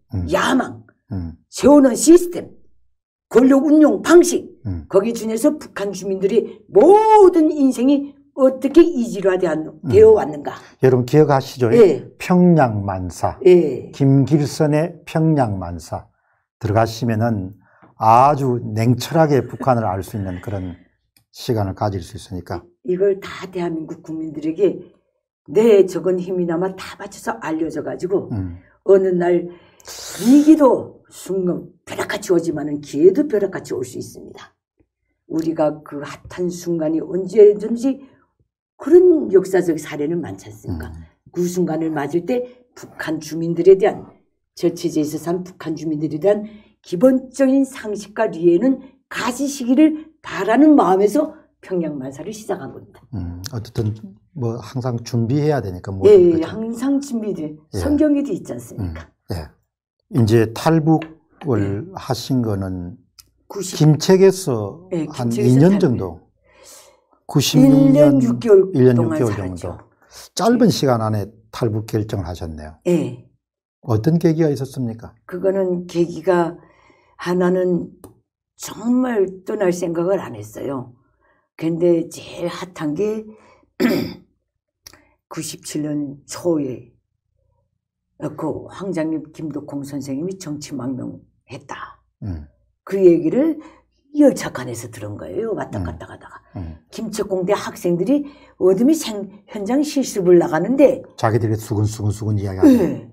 그 평양은 지금 그 아주 그 황장엽 김덕홍 그다 알죠. 황장엽 선생님 내가 대학 다닐 때 우리 대학 총장이셨고. 김일성 대학 총장. 네. 음. 그 다음에 김덕홍 선생님 그때 김일성 종합대학 교무부 부사, 교무부 책임자 했거든요. 음.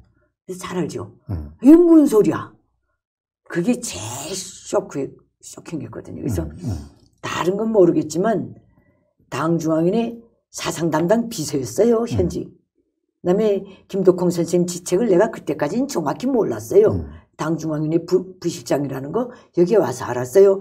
사상 담당 비서가 됐으면 아 내가 여기 있을 이유가 없더라고요. 정치적으로 깨어 있었던 것 같아요. 음, 아주 예, 각성이 돼 있는 상태, 개몽된 상태. 예. 그러다 나니까 근데 이게 결심은 그렇게 했어도 우리 그 평양 촌놈이거든요. 그니까 음, 음. 어느 루트로 가야 되는지 이거 아예 백직장인 거예요. 음. 국경이 어떻게 돼 있는지 이것도 도강을 해야 될 거 아닙니까? 음, 그래도 결심은 했지만은 아, 가야 되겠다 막연한 그 결심은 했지만은 실행에 옮긴다는 건 보통 힘든 일이 아니에요. 그게 실행에 들어간다는 거는 목숨을 걸어야 되니까. 예, 근데 제일 내가 완전히 결정적으로 야 이놈의 나라는 개 같은 나라로는 못 살겠다. 내가 그 글을 잘 써서 김정일이 선물을 많이 받았어요. 음. 그게 그때 당시 평양에는 북한에는 없던 이 CD 녹음기 있지 않습니까? 음, 음, 이만한 거 녹음 테이프도 들어가고 음, 라디오도 나오고 CD도 하는. 그 뭐 어느 나라에서 아마 일본 거 같아요. 그 뭐 간판 떼고 삼지연 하고 자기네 타이틀 달고 앞에 김정일이 몇월 며칠 선물이 한 거 딱 있거든요. 그때 그 선물을 받으면서 CD 한 80장, 녹음 테이프 한 50장 단체로 줬어요. 음. 근데 김, 김정일이가 소위 어, 문학예술에도 대가라 하면서 계속 충성 노래만 잡아놓으면 잘 안 들으니까 그 칭송 노래 어간에 외국 노래들을 끼워 연 게 있어요. 음. 러시아 노래들, 즐거운 람바다요 뭐요 이런 음, 노래들 음, 음. 버천버천 작단에서 한 거. 근데 그 테이프를 그냥 갖고 내가 내려갔댔거든요. 음. 어느 날 집에 있는데 전기불이 갑자기 들어와서 그때 그 녹음기를 틀었댔어요. 음. 근데 그때 그 녹음기에 그 선물 CD에 썰어너리 왈랭기가 있는데 한번 왈, 왈랭기 왈랭키. 왈랭기 왈랭기 하는 김광수가 부르는 그 노래 그거 나오는데 그거 좀 앉아 듣는데 누가 문을 두드리는 거예요. 음. 근데 쭉 나가 보니까 그 사람 먹지 못해 까마잡잡한 게 그죠? 새까만 게 또 정복은 입었어요. 양복은 입고 녹음기 구매를 나왔다는 거예요. 음. 그러더니 인민반장하고 둘이 와더니 왜 외국 노래를 들었나?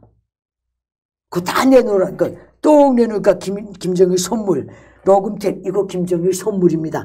그건 모르겠고 어쨌든 왜 노- 외국 노래를 들었나? 이 선물 CD에 외국 노래가 있다. 이건 선물이다. 자기는 그런 거 모른다는 막무가내예요. 외국 노래를 왜 들었는가? 그래가지고 이런 용지를 하나 내놓더니 어 오늘 며칠 아무개가 이 외국 노래를 들었는데 이런 거로 해서 이걸 회수하고 어떻게 조치한다. 그거 나보고 사인하라는 거예요. 그런 용지가 있더라고요. 음. 그래서 사인을 했어요. 그러더니 나보고 내일 아침 9시까지 뭐 행정위원인지 인민위원인지 3층 몇 호실까지 오라는 거예요. 하, 너무 기가 막혀서요. 이게 얘 말이 안 나오더라고요.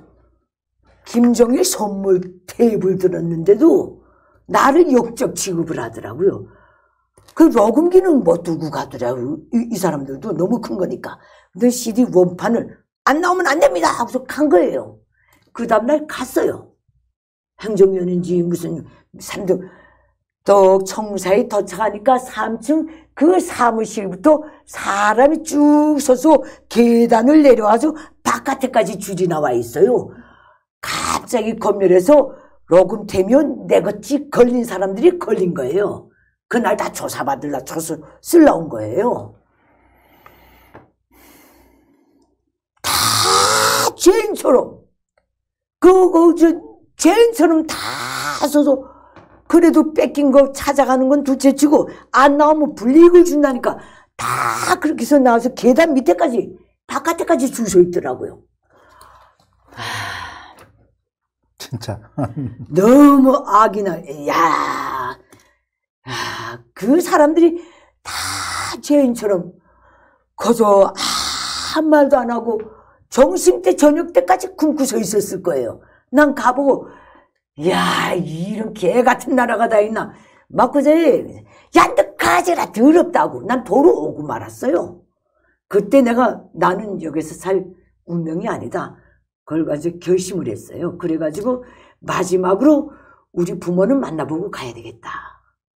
그래서 나는 그 추방자기 때문에 평양까지 요, 통행증을 떼주질 않아요. 음. 그래서 평안남도 성천군까지 통행증을 떼가지고 우리 딸 데리고 거기까지 왔다가 거기서부터 걸어서 양, 맹산, 양덕 다 지나가서 강동까지 나가서 어, 너 그런 시퍼저 처소를 다 피해서 평양까지 걸어 들어갔어요. 꼬박 한 주일 동안. 한 주일 예. 딸 내리고 사람이 악을 먹으니까 그 들어가게 되더라고요. 그, 그러니까 아까 이제 예, 집에 들어갈 때가 그냥 예. 완전히 그냥 예. 남녀가 들어갔구나. 깜깜해가지고 사람 몰골, 사람 몰골도 아니게 들어온 거예요. 그때 들어가서 우리 아버지 보고 아버지 나 뛸게요. 중국으로 넘어갈게요. 그러니까 우리 아버지 딱 갖고 계시더니 가거라 가거라 아버지 나 여참은 남조선까지 갈게요. 그러니까 눈척 뜨더니 거긴까지 말아라 그러더라고요. 우리 아버지는 그때도 그 나의 그 말을 정치적으로 해석한 거예요. 내가 남조선까지 간다면 평양에서 내 동생들 네, 네 명이 다 살고 있고 그게 다 추방된다는 거 우리 아버지는 아셨던 거예요. 음. 그런데 왜요?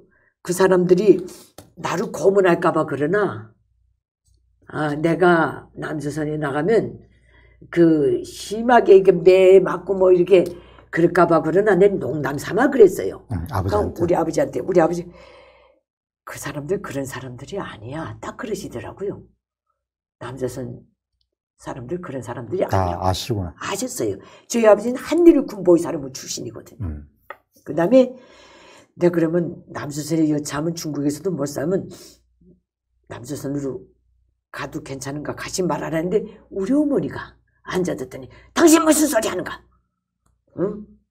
중국에서 못 살면 남조선으로 가야지. 어머 여자가 어머니는 더 강하더라고요. 그때. 음. 어머니는 내가 중국에 잔이 못한다는 걸 아신 거예요. 중국에 자기 당 동생도 있고 저 중국에 몇 번 왔다 갔다 해서 중국 공산당의 속성을 알은 거예요. 우리 아버지도 아셨지만은 그래도 그거 간다는 거는 북한에 남아있는 내 혈육들이 정치적 생명을 뺏기는 일이기 때문에 우리 아버지는 그렇게 그게 쉽게 말씀이 안 나오셨던 것 같아요. 음. 그거에서 고하고 그 다음에 다시 김책에 날아와서 8월 초순에 남양에 가가지고 아무 부록하고 뭐고 없이 우리 세 가족이 두만강을 넘어서 중국으로 들어갔죠. 그때가 도강할 때가 그러면 봄입니다. 8월 15일이었습니다. 여름 예. 밤에 밤에. 위험하지 않았습니까? 근데 이왕 뛰자고 생각하니까 위험한 건 둘째치고 저 강을 넘으면 어떤 운명이 기다릴까 그게 더 두렵더라고요. 음. 저 광야에 그래서 제가 그때 두만강 넘으면서 기도를 많이 했어요. 어, 내가 이제 이 광야에 나왔는데 하나님이든 부처님이든 뭐 이 세상에 신들 이 백이 이 작은 딸이 살려고 강을 넘었으니까 어디 가나 보호해 주세요. 그게 절로 터져 나오더라고요. 근데 그 네. 이동하면서 이제 따님이 또 못 견딘 부분도 있었죠. 김책에서. 예, 우리 딸은 그때 김책에서 자꾸 끝나면 애들이 없어지고 탈북하는 현상이 그때부터 나온 거예요. 음, 그, 학교 다닐 때 음, 음, 음, 없어지면 그때는 중국으로 뗐다 이렇게 정평이 나 있을 때 음, 너무 굶고 그러니까 음, 우리 딸은 자기도 뛰겠다는 거예요. 음. 그게 꽃제비라는 야 그런 예, 그런 예. 거구나. 그 우리 딸은 엄마가 엄마 아버지가 결심 못하면 자기 혼자라도 어느 날 사라지면 자기가 중국에 넘어간 줄 알라 그러더라고요. 근데 그거는 내가 못하겠더라고요. 그래서 넘었는데 그래도 내가 지금도 감사하고 또 감사한 게 그 모든 데서 매 한 대 안 받고 주- 중국에 가서도 머리털 하늘에도 뽑히지 않고 정말 매 한 대 안 맞고 중국에서 그래도 살아남아서 대한민국까지 온 거. 여기에 대해서는 정말 고생을 안 하셨네. 아무 고, 고생이 문제인 게 아니라 매는 안 맞았거든요. 누구한테 끌려다니지도 않았고. 일은 했지만은 그건 내 선택이고. 그럼 이제 거기서 했을 때는 누구 인칙재배하고 접촉이 된 겁니까? 그 아니면 우리 외삼촌이 중국 조선족이에요. 연변병원 이비인후과 과장을 했어요. 옛날에 그, 예. 그거는 뭐 공개 안 하셔도 되죠. 그, 그, 지금 돌아가셨어요. 아 돌아가셨고. 그러니까 이제 외삼촌 외가들이 좀 있다나니까 나와서 그 외가들 집에도 좀 음, 피신해 있었는데 이거 나라 없는 음, 나라를 버린 사람은 정말 상가집 잃은 건 둘째치고 버린 것도 상가집 개만도 못해요. 우리 외삼촌이 저 당신께서도 답답했던지 나는 우리 외삼촌이 나를 그 귀찮아하고 욕하는 게 하도 싫어서 어 들리지 않고 피해 다녔거든요. 어느 날 길거리에서 만나니까 네 오다 가다 죽으면 내네 시신은 걷어주마. 이 말씀 한마디에 내가 정신을 차렸어요. 난 그때까지 대한민국에 올 생각을 못했거든요. 안 했거든요. 우리 아버지 힘든 당부도 있었고. 근데 나라를 잃어버리면은 에, 나라를 떠나거나 그렇게 하면 개가 되는 거죠. 에, 그 이런 방송을 좀 듣고 사람들이 나라가 잘 돌아갈 때 나라를 잘 보존해야 되는데. 에. 그래서 그다음엔 이제 대한민국에 왔거든요. 음. 그럼 그게 뭐 수, 저 중국에 계신 동안 수기를 썼습니까? 예, 그때 내가 가만 보니까 이거 남이 그 식당 구석에 앉아 그릇 닦고 우리 저 외사촌 언니 거기 가서 농사 지어주고 이거 언제 언제 내 그릇 길을 뚫을지 모르겠더라고요. 음. 그래서 기자는 글러서 승부하자. 그 짬짬이 수기를 썼어요. 음. 아 그래서 수기 내용은 어디 언제부터 그 시작됐습니까? 내가 어그저 당중앙위원회 조직 지도부 지도부 10호실에 연행된 순간부터 순간부터. 글을 다뤘어요. 그 다음에 그 중국에서의 생활, 그 추방지에서의 생활, 그 어간의 그 전생도 있고, 그 전의 생활도 있고 어, 그렇게 됐는데 그 수기를 이렇게 저렇게 그저 담담하게 다 썼어요. 음. 그 썼는데 그 일본 속담이라 그러더라고요. 쫓는 신이 있으면 구원해 주는 신이 있다. 그런 음. 말이 그 똑같이 그 수기 때문에 수기 하나를 써서 누구한테 줄까 이걸 어떻게 알릴까 그 생각을 미처 할 새도 없이 딱 돌고 오니까 이걸 가져갈 사람이 로상에서 만났어요. 귀인은 로상에서 만난다는 말도 여기에 들어가는 것 같아요. 격언도. 음. 그래서 그 수기를 어 그 그렇게 해가지고 정말 생판 모르는 분한테 그 수기를 넘겼어요. 엄청 위험하잖아. 근데 그때는 모든 걸 수기를 끝내놓고 별로 수기를 마지막 쓰면서 마지막 떨구면서 내가 기도를 했어요. 난 쓸 걸 다 써놨으니까. 아, 이게 하나의 동아줄이 돼서 하늘에서 내리는 동아줄이 돼서 나는 도대체 죽은 내 딸을 안전한 것으로 어, 날라다 주시오. 그 기도를 정말 엄청 했어요. 근데 기도하던 와중에 어느 순간에 난 지금도 그건 모르겠어요. 사람이 영역이 있다고 하는데 음. 어느 한순간에 내 가슴에 훅하게 어떤 메시지 같은 게 들어오는 것 같더라고요. 음. 걱정하지 말아라. 이 세상에 너를 죽일 자는 없다. 음. 어, 느 하늘 아- 아래 어디가 있어도 머리를 들고 다니라는 그런 뜻인 것 같아요. 음. 내가 그 수기를 떨고 논 다음부터 그 살벌한 중국 땅에 날고기로 던져진 채로 헤매면서도 머리 숙인 적이 없어요. 음. 그리고 그 글을 가져가는 사람이 그 다음날로 나타났어요. 음. 그게 또 인연이 돼가지고 대한민국에 아주 안전하게 왔죠. 아주 편안하게, 아주, 아주 안전하게. 안전하게. 정말 하늘의 도우심이네요. 네. 그뭐 저는 아주 그러니까 탈북하셔가지고 대한민국에 안착하시는데 그 어떤 분보다도 안전하고 빠르게 네. 자리를 잡으셨네. 그리고 그- 거기에 수기가 큰 역할을 했고, 수, 기가 우리 가족을 대한민국에 데려오는데 그게 하나의 확실한 근거가 됐고 음. 그 다음에 저는 대한민국에 와서 나는 항상 내가 밥값은 했다. 음. 내가 대한민국에 오니까요. 음. 국방과학은 내 이 시스템을 아예 모르더라고요. 음, 음, 그 다음에 도무지 미사일이 어디서 나오는지 이 시스템을 모르더라고요. 모르니까. 어떤 기관이 어디면서 산업도 어디면서 나오는 것 같은데 그 연구소 이름이 뭔지 구분해서 오늘날까지 유일하게 내가 하나 나왔어요.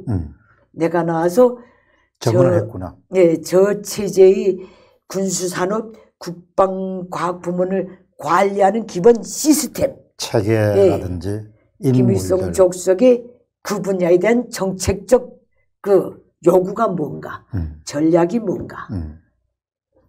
일단 야망이겠죠. 음. 관리 시스템. 음. 이게 온전한 시스템인가, 잘 굴러가고 성공할 수 있는 시스템인가, 아니면 불량스럽게 가다가 정확하게 끝날 시스템인가. 음. 이 모든 논리를 다 진술해 줬어요. 음.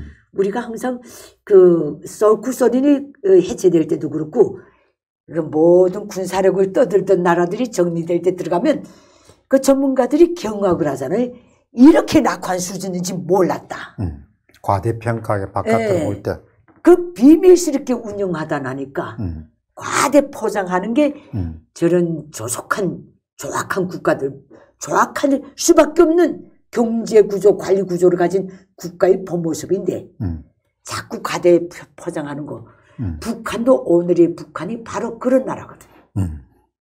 그러니까 실상을 이렇게 계속 네. 과장 표현해야 살아남을 수 있지만 그 안을 들어가 보면은 네. 엄청나게 네. 부실화돼 가지고 옛날 구소련과 마찬가지로 구소련이 딱 그렇게 됐지 않습니까? 음. 그 저는 대한민국 조사기관에서 나올 때 아주 중요한 여러분들이 김 여사님, 대한민국의 대북 전문가들이 쓰거나 북한과 관련된 책을 한 장도 보지 마십시오. 기자님은 북한에서 갖고 온 모든 감각과 이 예리한 관찰력을 훼손하면 절대로 안 됩니다. 음, 음. 하나도 보지 말고 그 감각을 부단히 잃지 않게 무뎌지지 않게끔 그걸 항상 어, 그 이게 방향으로 여기라는 거 거기에 여사님이 가치가 있습니다. 음. 저는 그 말대로 살아왔습니다. 음. 그러니까 여러분 오늘 우리 네. 김길선님이 운영하시는 김길선의 평양 만사를 들어가시면은 예, 그렇게 때묻지 않고 과대평가되지 않고 또 과장되지 않는 그런 북한의 아주 그 속 그런 정보들을 보실 수 있으니까 여러분들이 많이 이렇게 구독해 주시고 또 애청해 주시면 굉장히 고맙겠습니다. 그 참, 그 수기는 이제 뭐 정리가 돼서 바깥으로 안 나왔죠. 아, 그 이후에 예. 그 수기가 제가 99년 4월 31일 날 조사기관에서 나왔을 때 음. 아마 5월 호인가 6월 후에 신동아 월간 잡지에 나갔습니다. 음, 신동아 월간 네. 잡지에.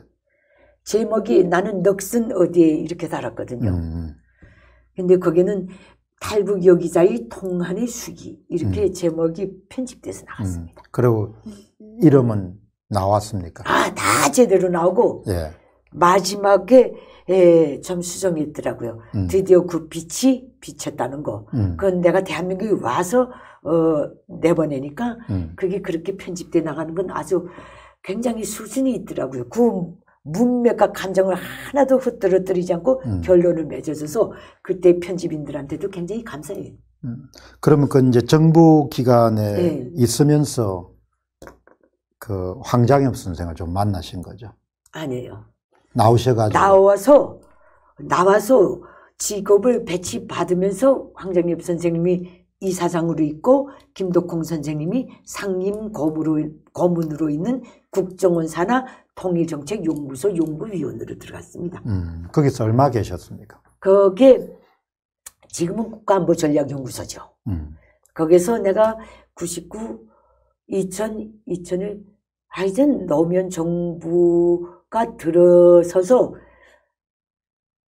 아유, 이제 대한민국에서의 생활은 연도는 잘 기억이 안 나는데 음, 음, 음. 어쨌든 노무현 정부가 들어서서 정식 운영된 그 해에 아마 내가 나왔을 거예요. 음. 그럼 이제 그때는 네. 그 황장엽 선생 같은 경우에는 네.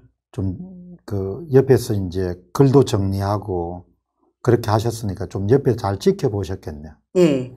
그때까지 계속 있었죠. 그러니까 황장엽 선생님 9회 두 분이 이제 노무현 정부가 들어서서 두 분을 예, 통일정책연구소의 상임 아, 이사장 상임 고문 자리에서 다 해체시키고 음, 국정원에서의 신변 보호를 일반 경찰 보호로 이관하고 음. 이제부터 미국에도 자유로이 나갈 수 다닐 수 있다고 언론 플레이를 다 한 상태였거든요. 음, 그리고 어 그렇게 내보낸 다음에 내가 남은 거예요. 음, 나는 그때 계속 있었거든요.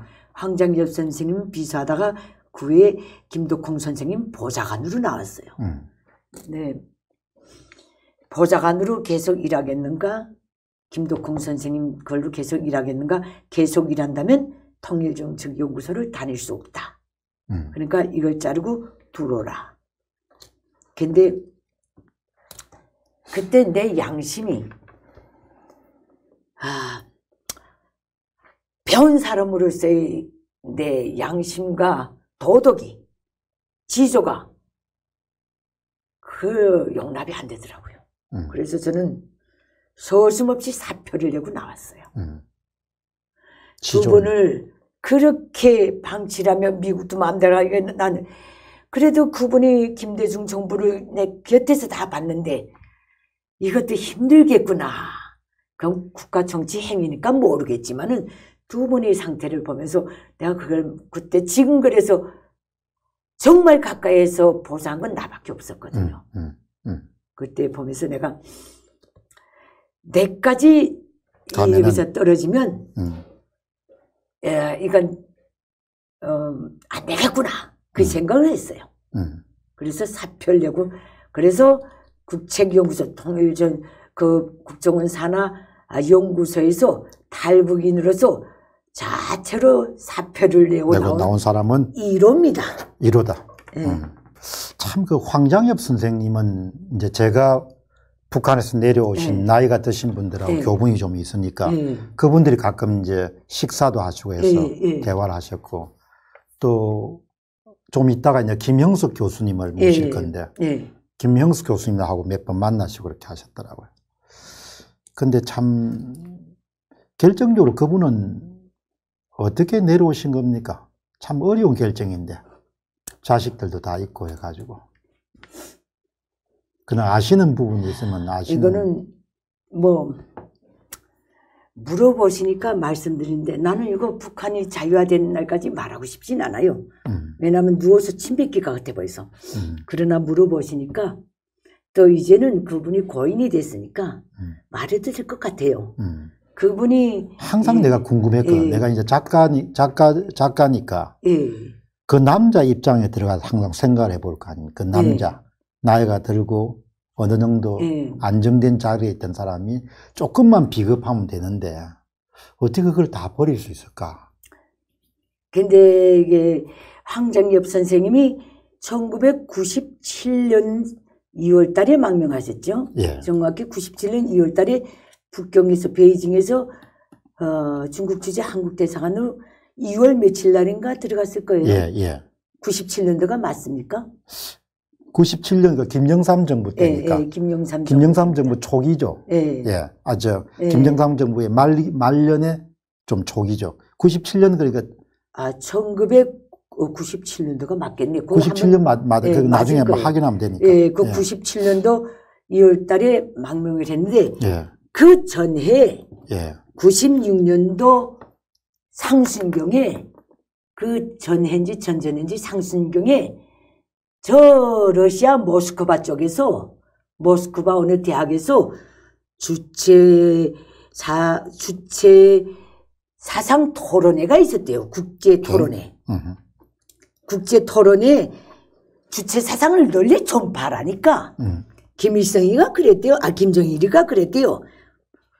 어이, 황 선생, 주체 사상을 가지고 위아버리도 좀 하고, 음, 이제는 주체 사상 국제 선전에, 예, 주체 사상 국제 토론회도 많이 하면서, 그걸로 돈을 벌어서 자체를 선전 사봐라. 이렇게 된 거예요. 음, 음. 이 주체 사상 옛날에는 당 자금을 풀어서 해외 선전을 했는데 이제는 주체 사상 그 좋은 사상을 가지고 돈 벌이라 이런 지시가 내려왔는데 그 몇 년도에 내려왔는지 모르겠는데 96년도에 모스크바에서 주체과학원 주체사상 국제 주체사상 토론회가 있었어요. 음. 그때 황정엽 선생님이 주체사상의 전문가니까 단장으로 간 거예요. 음. 가서 이, 이, 저 과학 토론회 끝나고 다 앉아서 질의응답할 때 뭐 외국 사람이 물어봤대요. 러시아 사람이. 그 주체 사상이 진짜 김일성이가 만든 건가? 음. 그러니까 황어른이 자기 사상에 대한 끝없는 자부심. 자기 마누라는 버려도 이것만은 못 버린다고 입버릇처럼 말씀하셨던 그분이에요. 황장엽 선생이. 그러니까 그 순간에 역증이 좀 났던 것 같아요. 이건 전적으로 내 생각입니다. 그러니까 김일성이가 중학교도 못 졸업한 게 그걸 어떻게 내놨겠는가? 내가 만들어서 줬다 이 발언을 하신 거예요. 가능한 이야기는. 예. 갱글 황장엽 혼자가 앉아 있습니까? 수행원들 중에 김일성, 김정일이 끄나불도 다 있고 보이부 다 그 감시체계가 다 있는데 그날로 직보된 거예요. 김정일이한테 평양에 앉아 있는. 그러니까 김정일 같아서는 황장엽을 죽이고 싶겠죠. 근데 연달아 또뭐 어둠의 주체 사상 국제 토론회 마지막 도쿄 주체 사상 국제 토론회까지 다 연결되어 있는 거예요. 행사가 이게 짜인 거예요. 여기까지 황정엽 선생이 가야 되는 거예요. 그러니까 황어른이 그때 보니까 벌써 들으니까 김정일이가 자기를 대하는 눈치가 달라졌대요. 그렇게 쌀쌀맞게 대하고 선물 줘도 황장엽 집은 딱 떼놓고 주고. 그 황장엽 선생의 집이 저 북한 가면 보통강격전이라고 있어요. 저 만경대 쪽으로 하면 그쪽에 만경대 쪽으로 서면 오른쪽 쭉 들어가면 거기에 당종하는 비서들 단독 양옥집이 있는데 거기에 무슨 뭐 김용남이요 뭐 단독. 태복이요 예, 단독 단독 주들이 양. 다 있거든요. 음. 그 헐국이 쭉 둘러싸고 있는데 음. 그 안에 황정엽 선생님이 집이 있었는데 명절날에 선물 들어가면 쫙 들어서 황장엽 집은 안 가고 다른 데는 다 주면서 나간다는 거예요. 그러니까 황장엽 선생과 그 가족이 수령의 신임을 신임이라는 그게 생명줄이나 같은 그 고압천주 대 밑에요. 김일성 족속 밑에는. 그러니까 그 정치적 정신적 회의 땐 부르지도 않아. 음. 아예 방치를 해버리고 음. 그렇게 눈치를 주고 도끼를 풍기니까 황홀이 굉장히 무서웠던 거예요. 그러니까 그때 김덕훈 선생님이 황장엽 선생 밑에서 주체 무슨 재단 무슨 이사장도 하고 자전 당조인의 부실장 지책을 갖고 활동을 했어요. 주체 국제 주체 사상 토론회도 다 선 앞 선견대로 다니면서 그 하고 거기에 대한 자금도 마련하고 형님 동생이 예, 그뭐 관계를 맺었어요. 음. 한번 중국에서 들어가니까 찾더래요 황장엽 선생이. 어더니 이번에 중국 나갔다 오면 독약을 하나 좀 갖다 달라고. 음. 독약. 김정일이가 저거 나를 간말리다가 일본 도쿄 주체 사상 국제 토론이 끝난다면 나를 죽일 것 같은데 그게 다음에 2월 달이거든요. 음. 죽일 것 같은데 내가 수모를 당하면서 린치당해 죽기보다도 그 순간에 오면 독약 먹겠다. 그 개- 비상을 좀 갖다 달라 그랬대요. 그래서 김덕훈 선생님이 그 얘기를 듣고 그 비상을 또, 또 그 상황을 다 얘기했겠죠. 그 다음에 김덕훈 선생님이 형님 동생 관계를 맺었으니까 하나 이렇게 생각했대요. 어, 황장엽이를 김정은이 손에 김정일 손에 죽게 내버려 둘 수 없다. 저렇게 고, 고비나 앉아 있는데 온 가족까지도 다 이제 사돈의 팔촌까지도 싸잡아 없어지겠는데 그래서 어, 비상을 갖다 주면서 형님 그렇게 하지 말고 차라리 남조선으로 나갑시다. 그때 김덕홍 선생은 중국에서 활동하면서 대한민국에 대한 접촉이 좀 있었던 것 같아요. 음. 그 순전히 내 생각입니다. 음. 그 망명 준비는 내가 하겠습니다. 김정일 선에 죽는 이보다 그때는 김덕홍 선생 300만이 굶어 죽지 꽃제비가 온 거리를 헤매지 이걸 다 보면서 이대로는 안 되겠구나 느꼈었던 거예요. 그때는. 음, 음. 그런 상황에서 황정엽 선생님도 느꼈고. 음. 그러니까 이제 그래 그렇게 하자. 김덕홍 선생님 그때 이 생각을 하셨다 그래요. 북한 김일성 족속이 이게 대중을 기만하고 인민을 세뇌시키는 정치적 자양분을 공급해온 황장엽 선생을 데리고 망명하면 그게 끊어진다는 것. 음. 구소련 동구권이 다 무너졌을 때 사회주의는 과학이다. 사회주의에 대한 비방은 용납할 수 없다. 연달아 써내면서 김일성 족속의 정치적 명분을 황장엽 선생님이 씌워줬거든요. 음. 그게 그때 90년대 초에 다 나왔어요. 음. 그 글은 황장엽지밖에 쓸 수가 없다는 거예요. 음, 음, 김덕홍 선생님은 이 뜻까지 있었던 것 같아요. 음, 음, 그 다음에 후에 나한테 말, 말씀하신 게 주체 사상으로 설계된 게 바로 북한 체제다. 음, 주체 사상으로 설계된. 그 주체 사상을 누가 냈는가? 황정엽 선생. 음, 조선한 사람이 폐선을 해야 된다. 음, 배를 문 사람이 폐선돼야 된다. 음, 자기는 그 뜻을 갖고 형님을 여기까지 인도에서 왔다. 음, 황장엽 선생님은 김정일한테 죽을까봐. 음, 음, 음, 그게 첫 번째 목적이었다. 음. 그래서 막 그 다음 해에 도쿄로 빠졌다가 베이징에 갔다가 망명한 거예요. 음. 옆에서 이제 예. 그 그러니까 돌아가시기 전 언제까지 이제 접촉이 있었습니까? 아, 한 돌아가시기 전에 한 5년 동안은 접촉이 없었습니다. 어, 그때는 두 분이 결별을 했어요. 결별한 거죠. 왜냐하면 여 이러저러한 정치적 문제 때문에 음, 주체 세상에 대한 문제, 미국 방문 문제, 음, 뭐 노동당 처리에 관한 문제. 근데 우리 황어른은 에, 공도 크지만은 저 그런 면에서 아 저는 존경할 수 없습니다. 음. 그러니까 그 예, 지금 이제 참 중요한 이야기인데 예, 그런 어, 직은거리에서 본 사람은 별로 없잖아요. 예, 바로 바로 직은거리에서 아주 가까운 거리에서.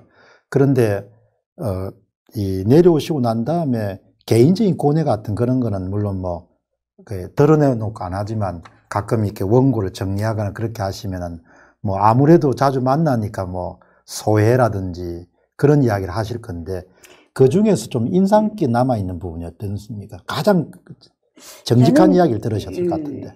저, 아, 그거는 황장엽 선생님하고 김덕홍 선생님이 이 주로 그런 얘기를 많이 했을 거예요. 두 사람 사이. 근데 예, 음. 나는 황장엽 선생님이 자주 나오질 않았어요. 또 음, 이 당시 나오면서 다 벌어지는데 그분이 김덕홍 선생님하고 주고받은 편지가 굉장히 많아요. 소신이. 자필로.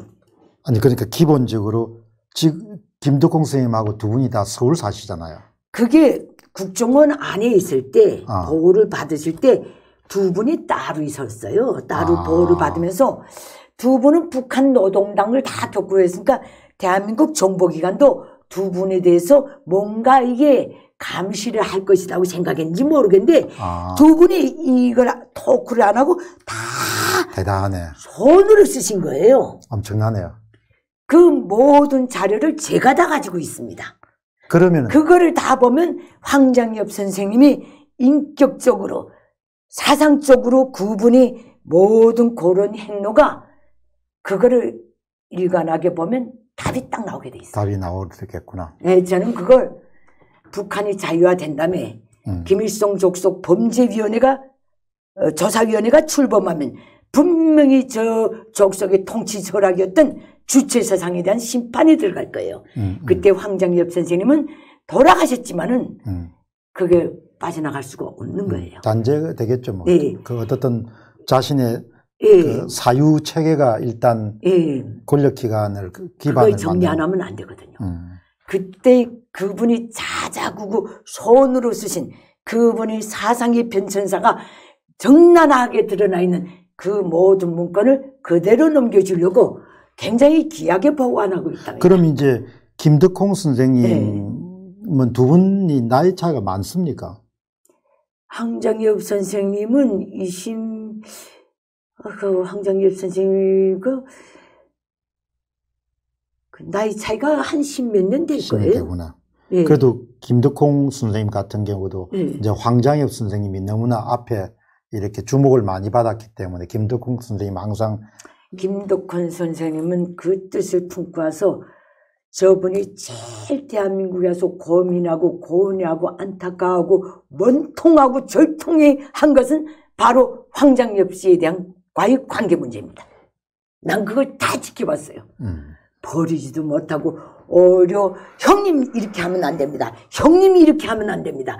형님 망명치지 이렇게 하면 뭐라고 그러겠습니까? 훗날의 후대들이 이걸 계속 하다 보니까 황장엽 선생님이 김덕홍 선생이 귀찮아지신 거예요. 음, 음, 음, 음, 음, 그러면서 음. 나는 그 마지막에 황장엽 선생님이 그 관계를 알기 때문에 그분을 존경 안 합니다. 음, 그래서 음. 그거는 뭐 나중에 역사적 사실로 예. 분명히 밝힐 필요가 있겠네. 그 망명하는 때도 황장엽 선생님 망명 다 해놓고 김덕홍 선생님은 올 생각도 없었대요. 망명 조직하고 황장엽 선생님은 평양을 떠나서 도쿄 갈 때 이번 길에 다시 못 온다는 걸 알고 저 아들들에게 그런 메시지는 나름 주고 온 거예요. 김덕홍 선생님은 그 반년 전에 나와 계신 거예요. 아, 그래서 이걸 다 해놓고 형님만 보내고 자기는 정리할 것 정리하고 다른 중국 땅에 신분을 세탁하고 북한 해방의 일을 하겠다. 음, 이렇게 돼 있었는데 황장엽 선생님 내일 9시 한국대사관에 들어갑니다. 여기까지 가면 됩니다. 난너 없으면 안 가! 하고 나잡아진 거예요. 음. 마지막 순간에. 음, 네가 안 따라오면 누가 나를 보호해 주느냐. 음, 그래서 김덕홍 선, 황장엽 선생님이 김덕홍 선생님한테 글 쓸 때마다 난 그것도 싫어요. 장미 같은 내 동생, 예, 장비 같은 동생에게, 장비 같은 내 동생에게. 너는 내가 없다는 소리예요. 황 김덕홍 선생님을 장비 같다고 부른 것도 난 싫어요. 음. 그거 그때 이거는 나가야 되겠는지 안 나가야 되겠는지 모르겠지만은 그런데 이제 내가 너무 격하게 말한 것 아, 같아요. 괜찮습니다. 네. 김덕곤 선생님하고는 지금 계속 연락을 주고 받으십니까? 어, 가끔은. 예, 예, 예. 음. 그럼 김덕곤 선생님은 올해 이제 연세가 한 80주 39년생입니다. 많이 되셨네. 예. 참 김덕곤 선생님은 전혀 이제 외부에 활동 같은 거 안 하십니까? 아니면은 안 하십니다. 안 하시구나. 예. 그리고 그냥 김덕홍 선생님은 그분이 망명 취지에 맞게 그분이 할 수 있는 일을 이미 다 해놓으셨어요. 음, 그 후에 앞으로 어, 북한이 자유화될 때 그분이 어떤 로고를 바쳤는가는 다 뭐 이런 저런 기에 아마 알려지게 될 거예요. 음. 예. 사람이 앞에서 떠들어야만 일한 건 아니지 않습니까? 맞습니다. 예. 예. 그거는 뭐 어느 어느 어, 혁명이 이만큼 나갔다면 음. 그 앞서서 몇 배로 앞에서 숨어서 달린 사람들이 있지 않습니까? 그럼 그럼 예. 예. 그게 오픈되기까지는 음. 시간이 많이 걸릴 거예요. 이제 97년 오실 98년에 99년 1월 16일에 대한민국에 들어왔습니다. 99년 그러면 이제 한 예, 한 20년. 20년. 이제 한국 사회를 좀 새로운 시각으로 볼 거 아닙니까? 예. 그래서 우선은 이제 북한 사회가 앞으로 어떻게 보십니까? 앞으로 북한이 예, 어떻게 어떻게 나갈 될, 어떻게 될 것 같습니까? 저는 예, 북한은 내부적 요인에 의해서 김일성 족속의 체제가 붕괴될 일은 요원하다. 음. 네. 근데 이제 제가 갖고 예. 있는 거는 이제 하- 이 북한은 굳건한데 예. 이 대한민국 자체가 많이 이제 사상적으로나 이념적으로나 정치적으로 혼란스럽지 않습니까? 이제? 예.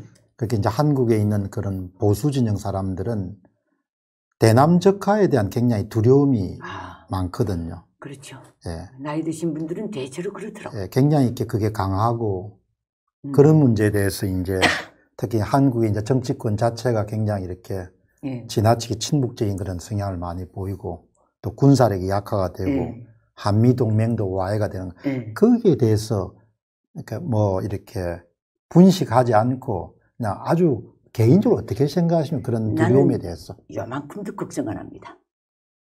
그 문제에 대해서. 북한이 70년대부터 80년대 초반까지 상황이 오늘 있고, 오늘의 북한이. 음. 대한민국의 오늘이 상황에 있다면 아예 자살하고 말이죠.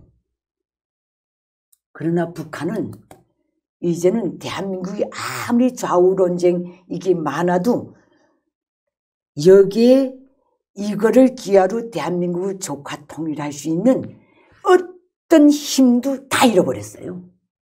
난 이걸 봅니다. 근데 이제 지금 네. 그 남측에서는 뭐 이번 선거 같은 경우 예. 보면은 개헌 같은 게 많이 이루어질 수가 있다 이렇게 예. 하면은 나전 연방제에 대한 그런 걱정을 하는 사람도 있거든요. 예. 예. 연방제는 못해요. 그런 부분에 예. 대해서도 전혀 두려워할 필요가 안 없다. 이야기. 합니다. 왜 안 하는가 하면 연방제 아무나 못 합니다. 체제의 혈액형이 같아야 연방제를 합니다. 독재 체제와 자유 체제가 연방제 한 적이 있습니까? 말이 안 되는 겁니다. 그런 역사의 사례, 역사적 사례 자체가 없습니다. 한번 꼽아 보십시오. 옛날에 뭐 저 중동 같은 경우, 예멘 같은 경우 예. 그런 사례고 네. 또 베트남 같은 경우도 어떻든 간에 뭐 흡수 통일해버렸죠. 흡수 통일됐지만 예. 겉으로는 평화 협정을 체결하고 그렇게 해서 평화 무드가 조성이 된 다음에 예. 그 다음에 여러 가지 이제 상황이 전개되면 결국은 공산 체제가 밑쪽을 먹는 방식으로 진행됐지 예, 않습니까? 베트남도 개혁 개방이라는 그걸 두고 나길래 그래도 그 방향으로 정치는 공산당이 가져가지만은 개혁 개방이라는 자유시장 경제 비트름하게 나가기 때문에 저게 가능한 거예요. 근데 이제 그 이전에 예. 1973년도에 예. 파리 평화협정 같은 걸 체결했을 예. 때는 키신저가 중재가 돼가지고 그때는 조카 통일돼 버렸지 않습니까? 예 그러니까 예. 항상 이렇게 그 남쪽의 보수 진영 사람들은 특히 나이가 드신 분들은 두려움은 그런 항상 북한은 전체주의 체제가 굉장히 집요하게 한 가지 목표를 음. 달려오고 또 남측에서는 그런 부분에 우호적인 사람이 갖고 있- 생각을 가진 사람이 있기 때문에 그런 데 대한 두려움을 가진 사람이 많은 것은 사실이거든요. 그게 실현되느냐 여부에 떠나 그래서 그런 부분에 대해서는 난 크게 걱정- 안 한다는 이야기죠. 왜냐하면 제가 이 유튜브 방송을 하면서 많은 분들하고도 대화하고 다 하는데 자기는 진보라고 해도 북한 문제에 대해서는 아주 냉혹한 분들이 굉장히 많더라고요. 북한 문제에 한해서는 북한 문제에 한해서는 76년간의 학습 효과가 정말 훌륭하게 아주 후리하게 그럼 북한이. 북한이 이제 예. 그 내부적으로 붕괴될 가능성은 없다. 없어요. 북한은 그 붕괴 가능성을 최소화하고 붕괴 가는 환경까지 안 가기 위해서 끝없이 핵도발, 미사일 도발, 군사 도발을 하는 거예요. 음. 이게 대한민국 국민들이 바라볼 때는 진보 보수를 떠나서 덮어놓고 싫은 거예요, 이제는. 음, 학습 효과가 이제 여기까지 왔어요. 음. 그래서 나는 그 걱정을 안 하고 북한이 설사 조카 통일했다 대한민국 진짜 고양이가 말대가리 물격이 될 거예요. 절대 못 삼킵니다. 가정해도 베트남이나 남부 베트남은 어서 비슷하니까 다 된 거예요. 근데 그 체제가 이제 네. 예를 들면은 그 어떻든 간에 예. 우리가 이제 현대사에 사니까 뭐 싫으나 좋으나 간에 2,500만 명이 같은 언어를 쓰지 않습니까? 예, 예. 그러니까 지금 이렇게 김성이 만나면은 뭐 맞추고 나서 당장 식사를 하고 뭐 예. 이렇게 하더라도 이런 경우가 없잖아요. 그죠? 같은 사람들끼리 문화가 같고 언어가 같고 역사가 같으니 그러면 어쨌든 저 사람들을 좀 노예 상태에서 풀어줘야 될 거 아니에요. 조카 통일의 기준이 딱 있습니다. 네. 정치, 경제, 군사적으로 대한민국에 비할 바 없이 압도했을 때 조카 통일이 가능합니다. 음. 이게 해결되지 않는 한 조카 통일 명목으로 했다 해도 대한민국에 순식간에 흡수되고 맙니다. 음. 왜? 그건 뭐 뻔하지 않습니까? 교류가 이르면 대한민국의 이 삶을 보고 자유선고를 보고 이걸 다 본 북한 주민들이 그때도 저 체제를 따라가겠습니까? 그러면 이제 못 열어놔요. 우리가 네. 우리가 뭘 어떻게 해야 될 것 같습니까? 저 사람들에게 좀 네. 보통 사람들이 좀 삶을 나아지게 하려면 어쨌든 노예 상태를 좀 해결하는 거가 대한민국 사람들의 도덕적 의무 도덕적 의무잖아요. 그리고 헌법적 의무고 그 어떻게 해- 어떻게 하는 게 좋겠습니까? 나는 대한민국의 좌든 우든 북한 문제에 대해서 관심을 가지는 모든 위정자 모든 분들은 원칙을 딱 가져야 된다고 보는 사람. 어떤 원칙입니까? 원칙. 자유민주주의 원칙을 가져야 된다. 지원을 해주든 어떻게 해주든 북한을 자유민주주의 방향으로 변화시키는 방향에서 지원도 가고 대화도 가고 협력도 가야 된다. 음, 음. 나는 그겁니다. 그게 없이 지원하고 대화하고 협력하면 저 체제의 다 사그러져가는 우상화를 해생시킬 수 있고 음. 섣불리 경제 협력을 했다면 저 체제의 다 무너져가는 전쟁력을 전쟁력을 키워줄 수 있다는 복원시킬 수. 복원시킬 수 있다는 것. 음, 음, 딱 자유민주주의 잣대 음. 이걸 딱 놓고 안 오면 놔두기도 하고 따라오기 시작하면 끌어당기기도 하면서 음. 대화도 하고 인도적 지원도 하고 음, 다 해야 된다고 난 보는 사람이에요. 음, 음. 가고 모든 인도적 지원할 때도 장기간 보관이 불가능한 것다 긁어서 보내라. 음. 당장 먹어 치울 수 네. 있어서. 유통기간도 빠듯한 거 있지 않습니까? 음, 음, 물론 북한은 유통기간이 없지만은 음. 그래도 썩어가는 걸 그냥 끼고 있을 수는 없지 않습니까? 음, 음, 그걸 그것을 무자비하게 다 우주고 뭐고 음. 조금 뭐 어느 정도 지나면 버려야 될 그런 것들이 있지 않습니까? 대량으로 보내라. 음, 음. 그러기 위해서 보관 못하고 군대가 먹든 꽃제비가, 꽃제비가 먹든 유치원 애들이 먹든 다 가서 애들이 먹든 이게 대한민국의 우유라는 거 음, 서서히 다 알게 하는 방향으로 대북 지원을 그런 방향으로 해야 된다. 절대 돈만 떨거덕했다 주고 알아서 하죠. 이거는 굉장히 독재 체제는 예, 상대로 그렇게 할 때는 그게 하나의 화- 창끝이 돼서 음, 독화살이 돼서 날아올 수 있다는 것. 음. 절대 믿지 말아야 된다. 난 그거예요. 그럼 이제 오늘 이제 네. 우리가 마무리를 해야겠 또 다음에 네. 오시고 여기 이 방송 보시고 예. 그 김길선 평양 만사 조금 소개하시죠. 예. 제가 어, 김길선의 평양 만사를 진행하고 있는데요. 어, 정직하게 하나 꾸밈 없이 리얼하게 또 많은 북한 주민들이 뭐 통일이란 거 하고 싶어서 하고 하기 싫으면 안 하고 그게 아니고 반드시 필요코 가기 싫어도 가야 될 길인 것만은 틀림없습니다. 앞으로 음, 음. 단 거기서 대한민국 자유민주주의 대한민국 주도로 대한민국이 북한의 흡수 정치 체제나 모든 것을 흡수하는 방향으로 끌고 나가야 된다는 대의. 음, 음. 그 대의. 이제 그때가 올 때 필요한 모든 북한과의 모든 문제를 하나하나 어, 알려주기 위해서 시작한 방송이니까요. 음. 에, 부담 갖지 마시고요. 봐주시길 바랍니다. 여러분 오늘 당장 이 네. 방송 마치시면은 우리 김길선의 평양 만사 유튜브 꼭 방문하셔서 구독도 꼭 찍으시고 예, 그리고 일주일에 한두 번 정도 찾으셔가지고 보시면은 평양에 과장하지 않는 예. 살아있는 그런 어, 소식을 보실 테니까 정말 철학 있게 유튜브 방송 하시니까 꼭 여러분들 찾아보시기 바랍니다. 김길선의 평양 만사입니다. 어쨌든 오늘 하, 이렇게 고마워요. 음, 이 오랜 시간 동안 정말 네. 오늘 이 방송이 막이 나가면 굉장히 많은 분들이 참 고마워하실 것 같아요.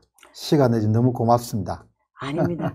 저는요, 이- 이게, 이렇게 말이 통하고, 예. 뭔가 이게 있으면 난 24시간 잠도 안 자고 말하는 사람입니다. 예. 근데 이게 여기서 스텝이 꼬이면 입 딱 다물고 앉아 있는 사람이거든요. 어쨌든 오늘 참 이렇게 너무 네, 좋은 이야기를 네. 해주셔가지고 대화하기가 음, 아주 즐거웠습니다. 예, 이게 이런 또 정부나 이런 부분들이 많은 분들한테 북한을 이해시키고 또 북한 땅에 좀 더 나은 삶을 우리가 가져올 수 있으니까 예. 어쨌든 방송으로서 우리가 마땅히 해야 될 일이라고 예. 생각하네요. 근데 저희들이 이렇게 요- 이 바쁘실 텐데 요청했을 때 응해주 너무 고맙습니다.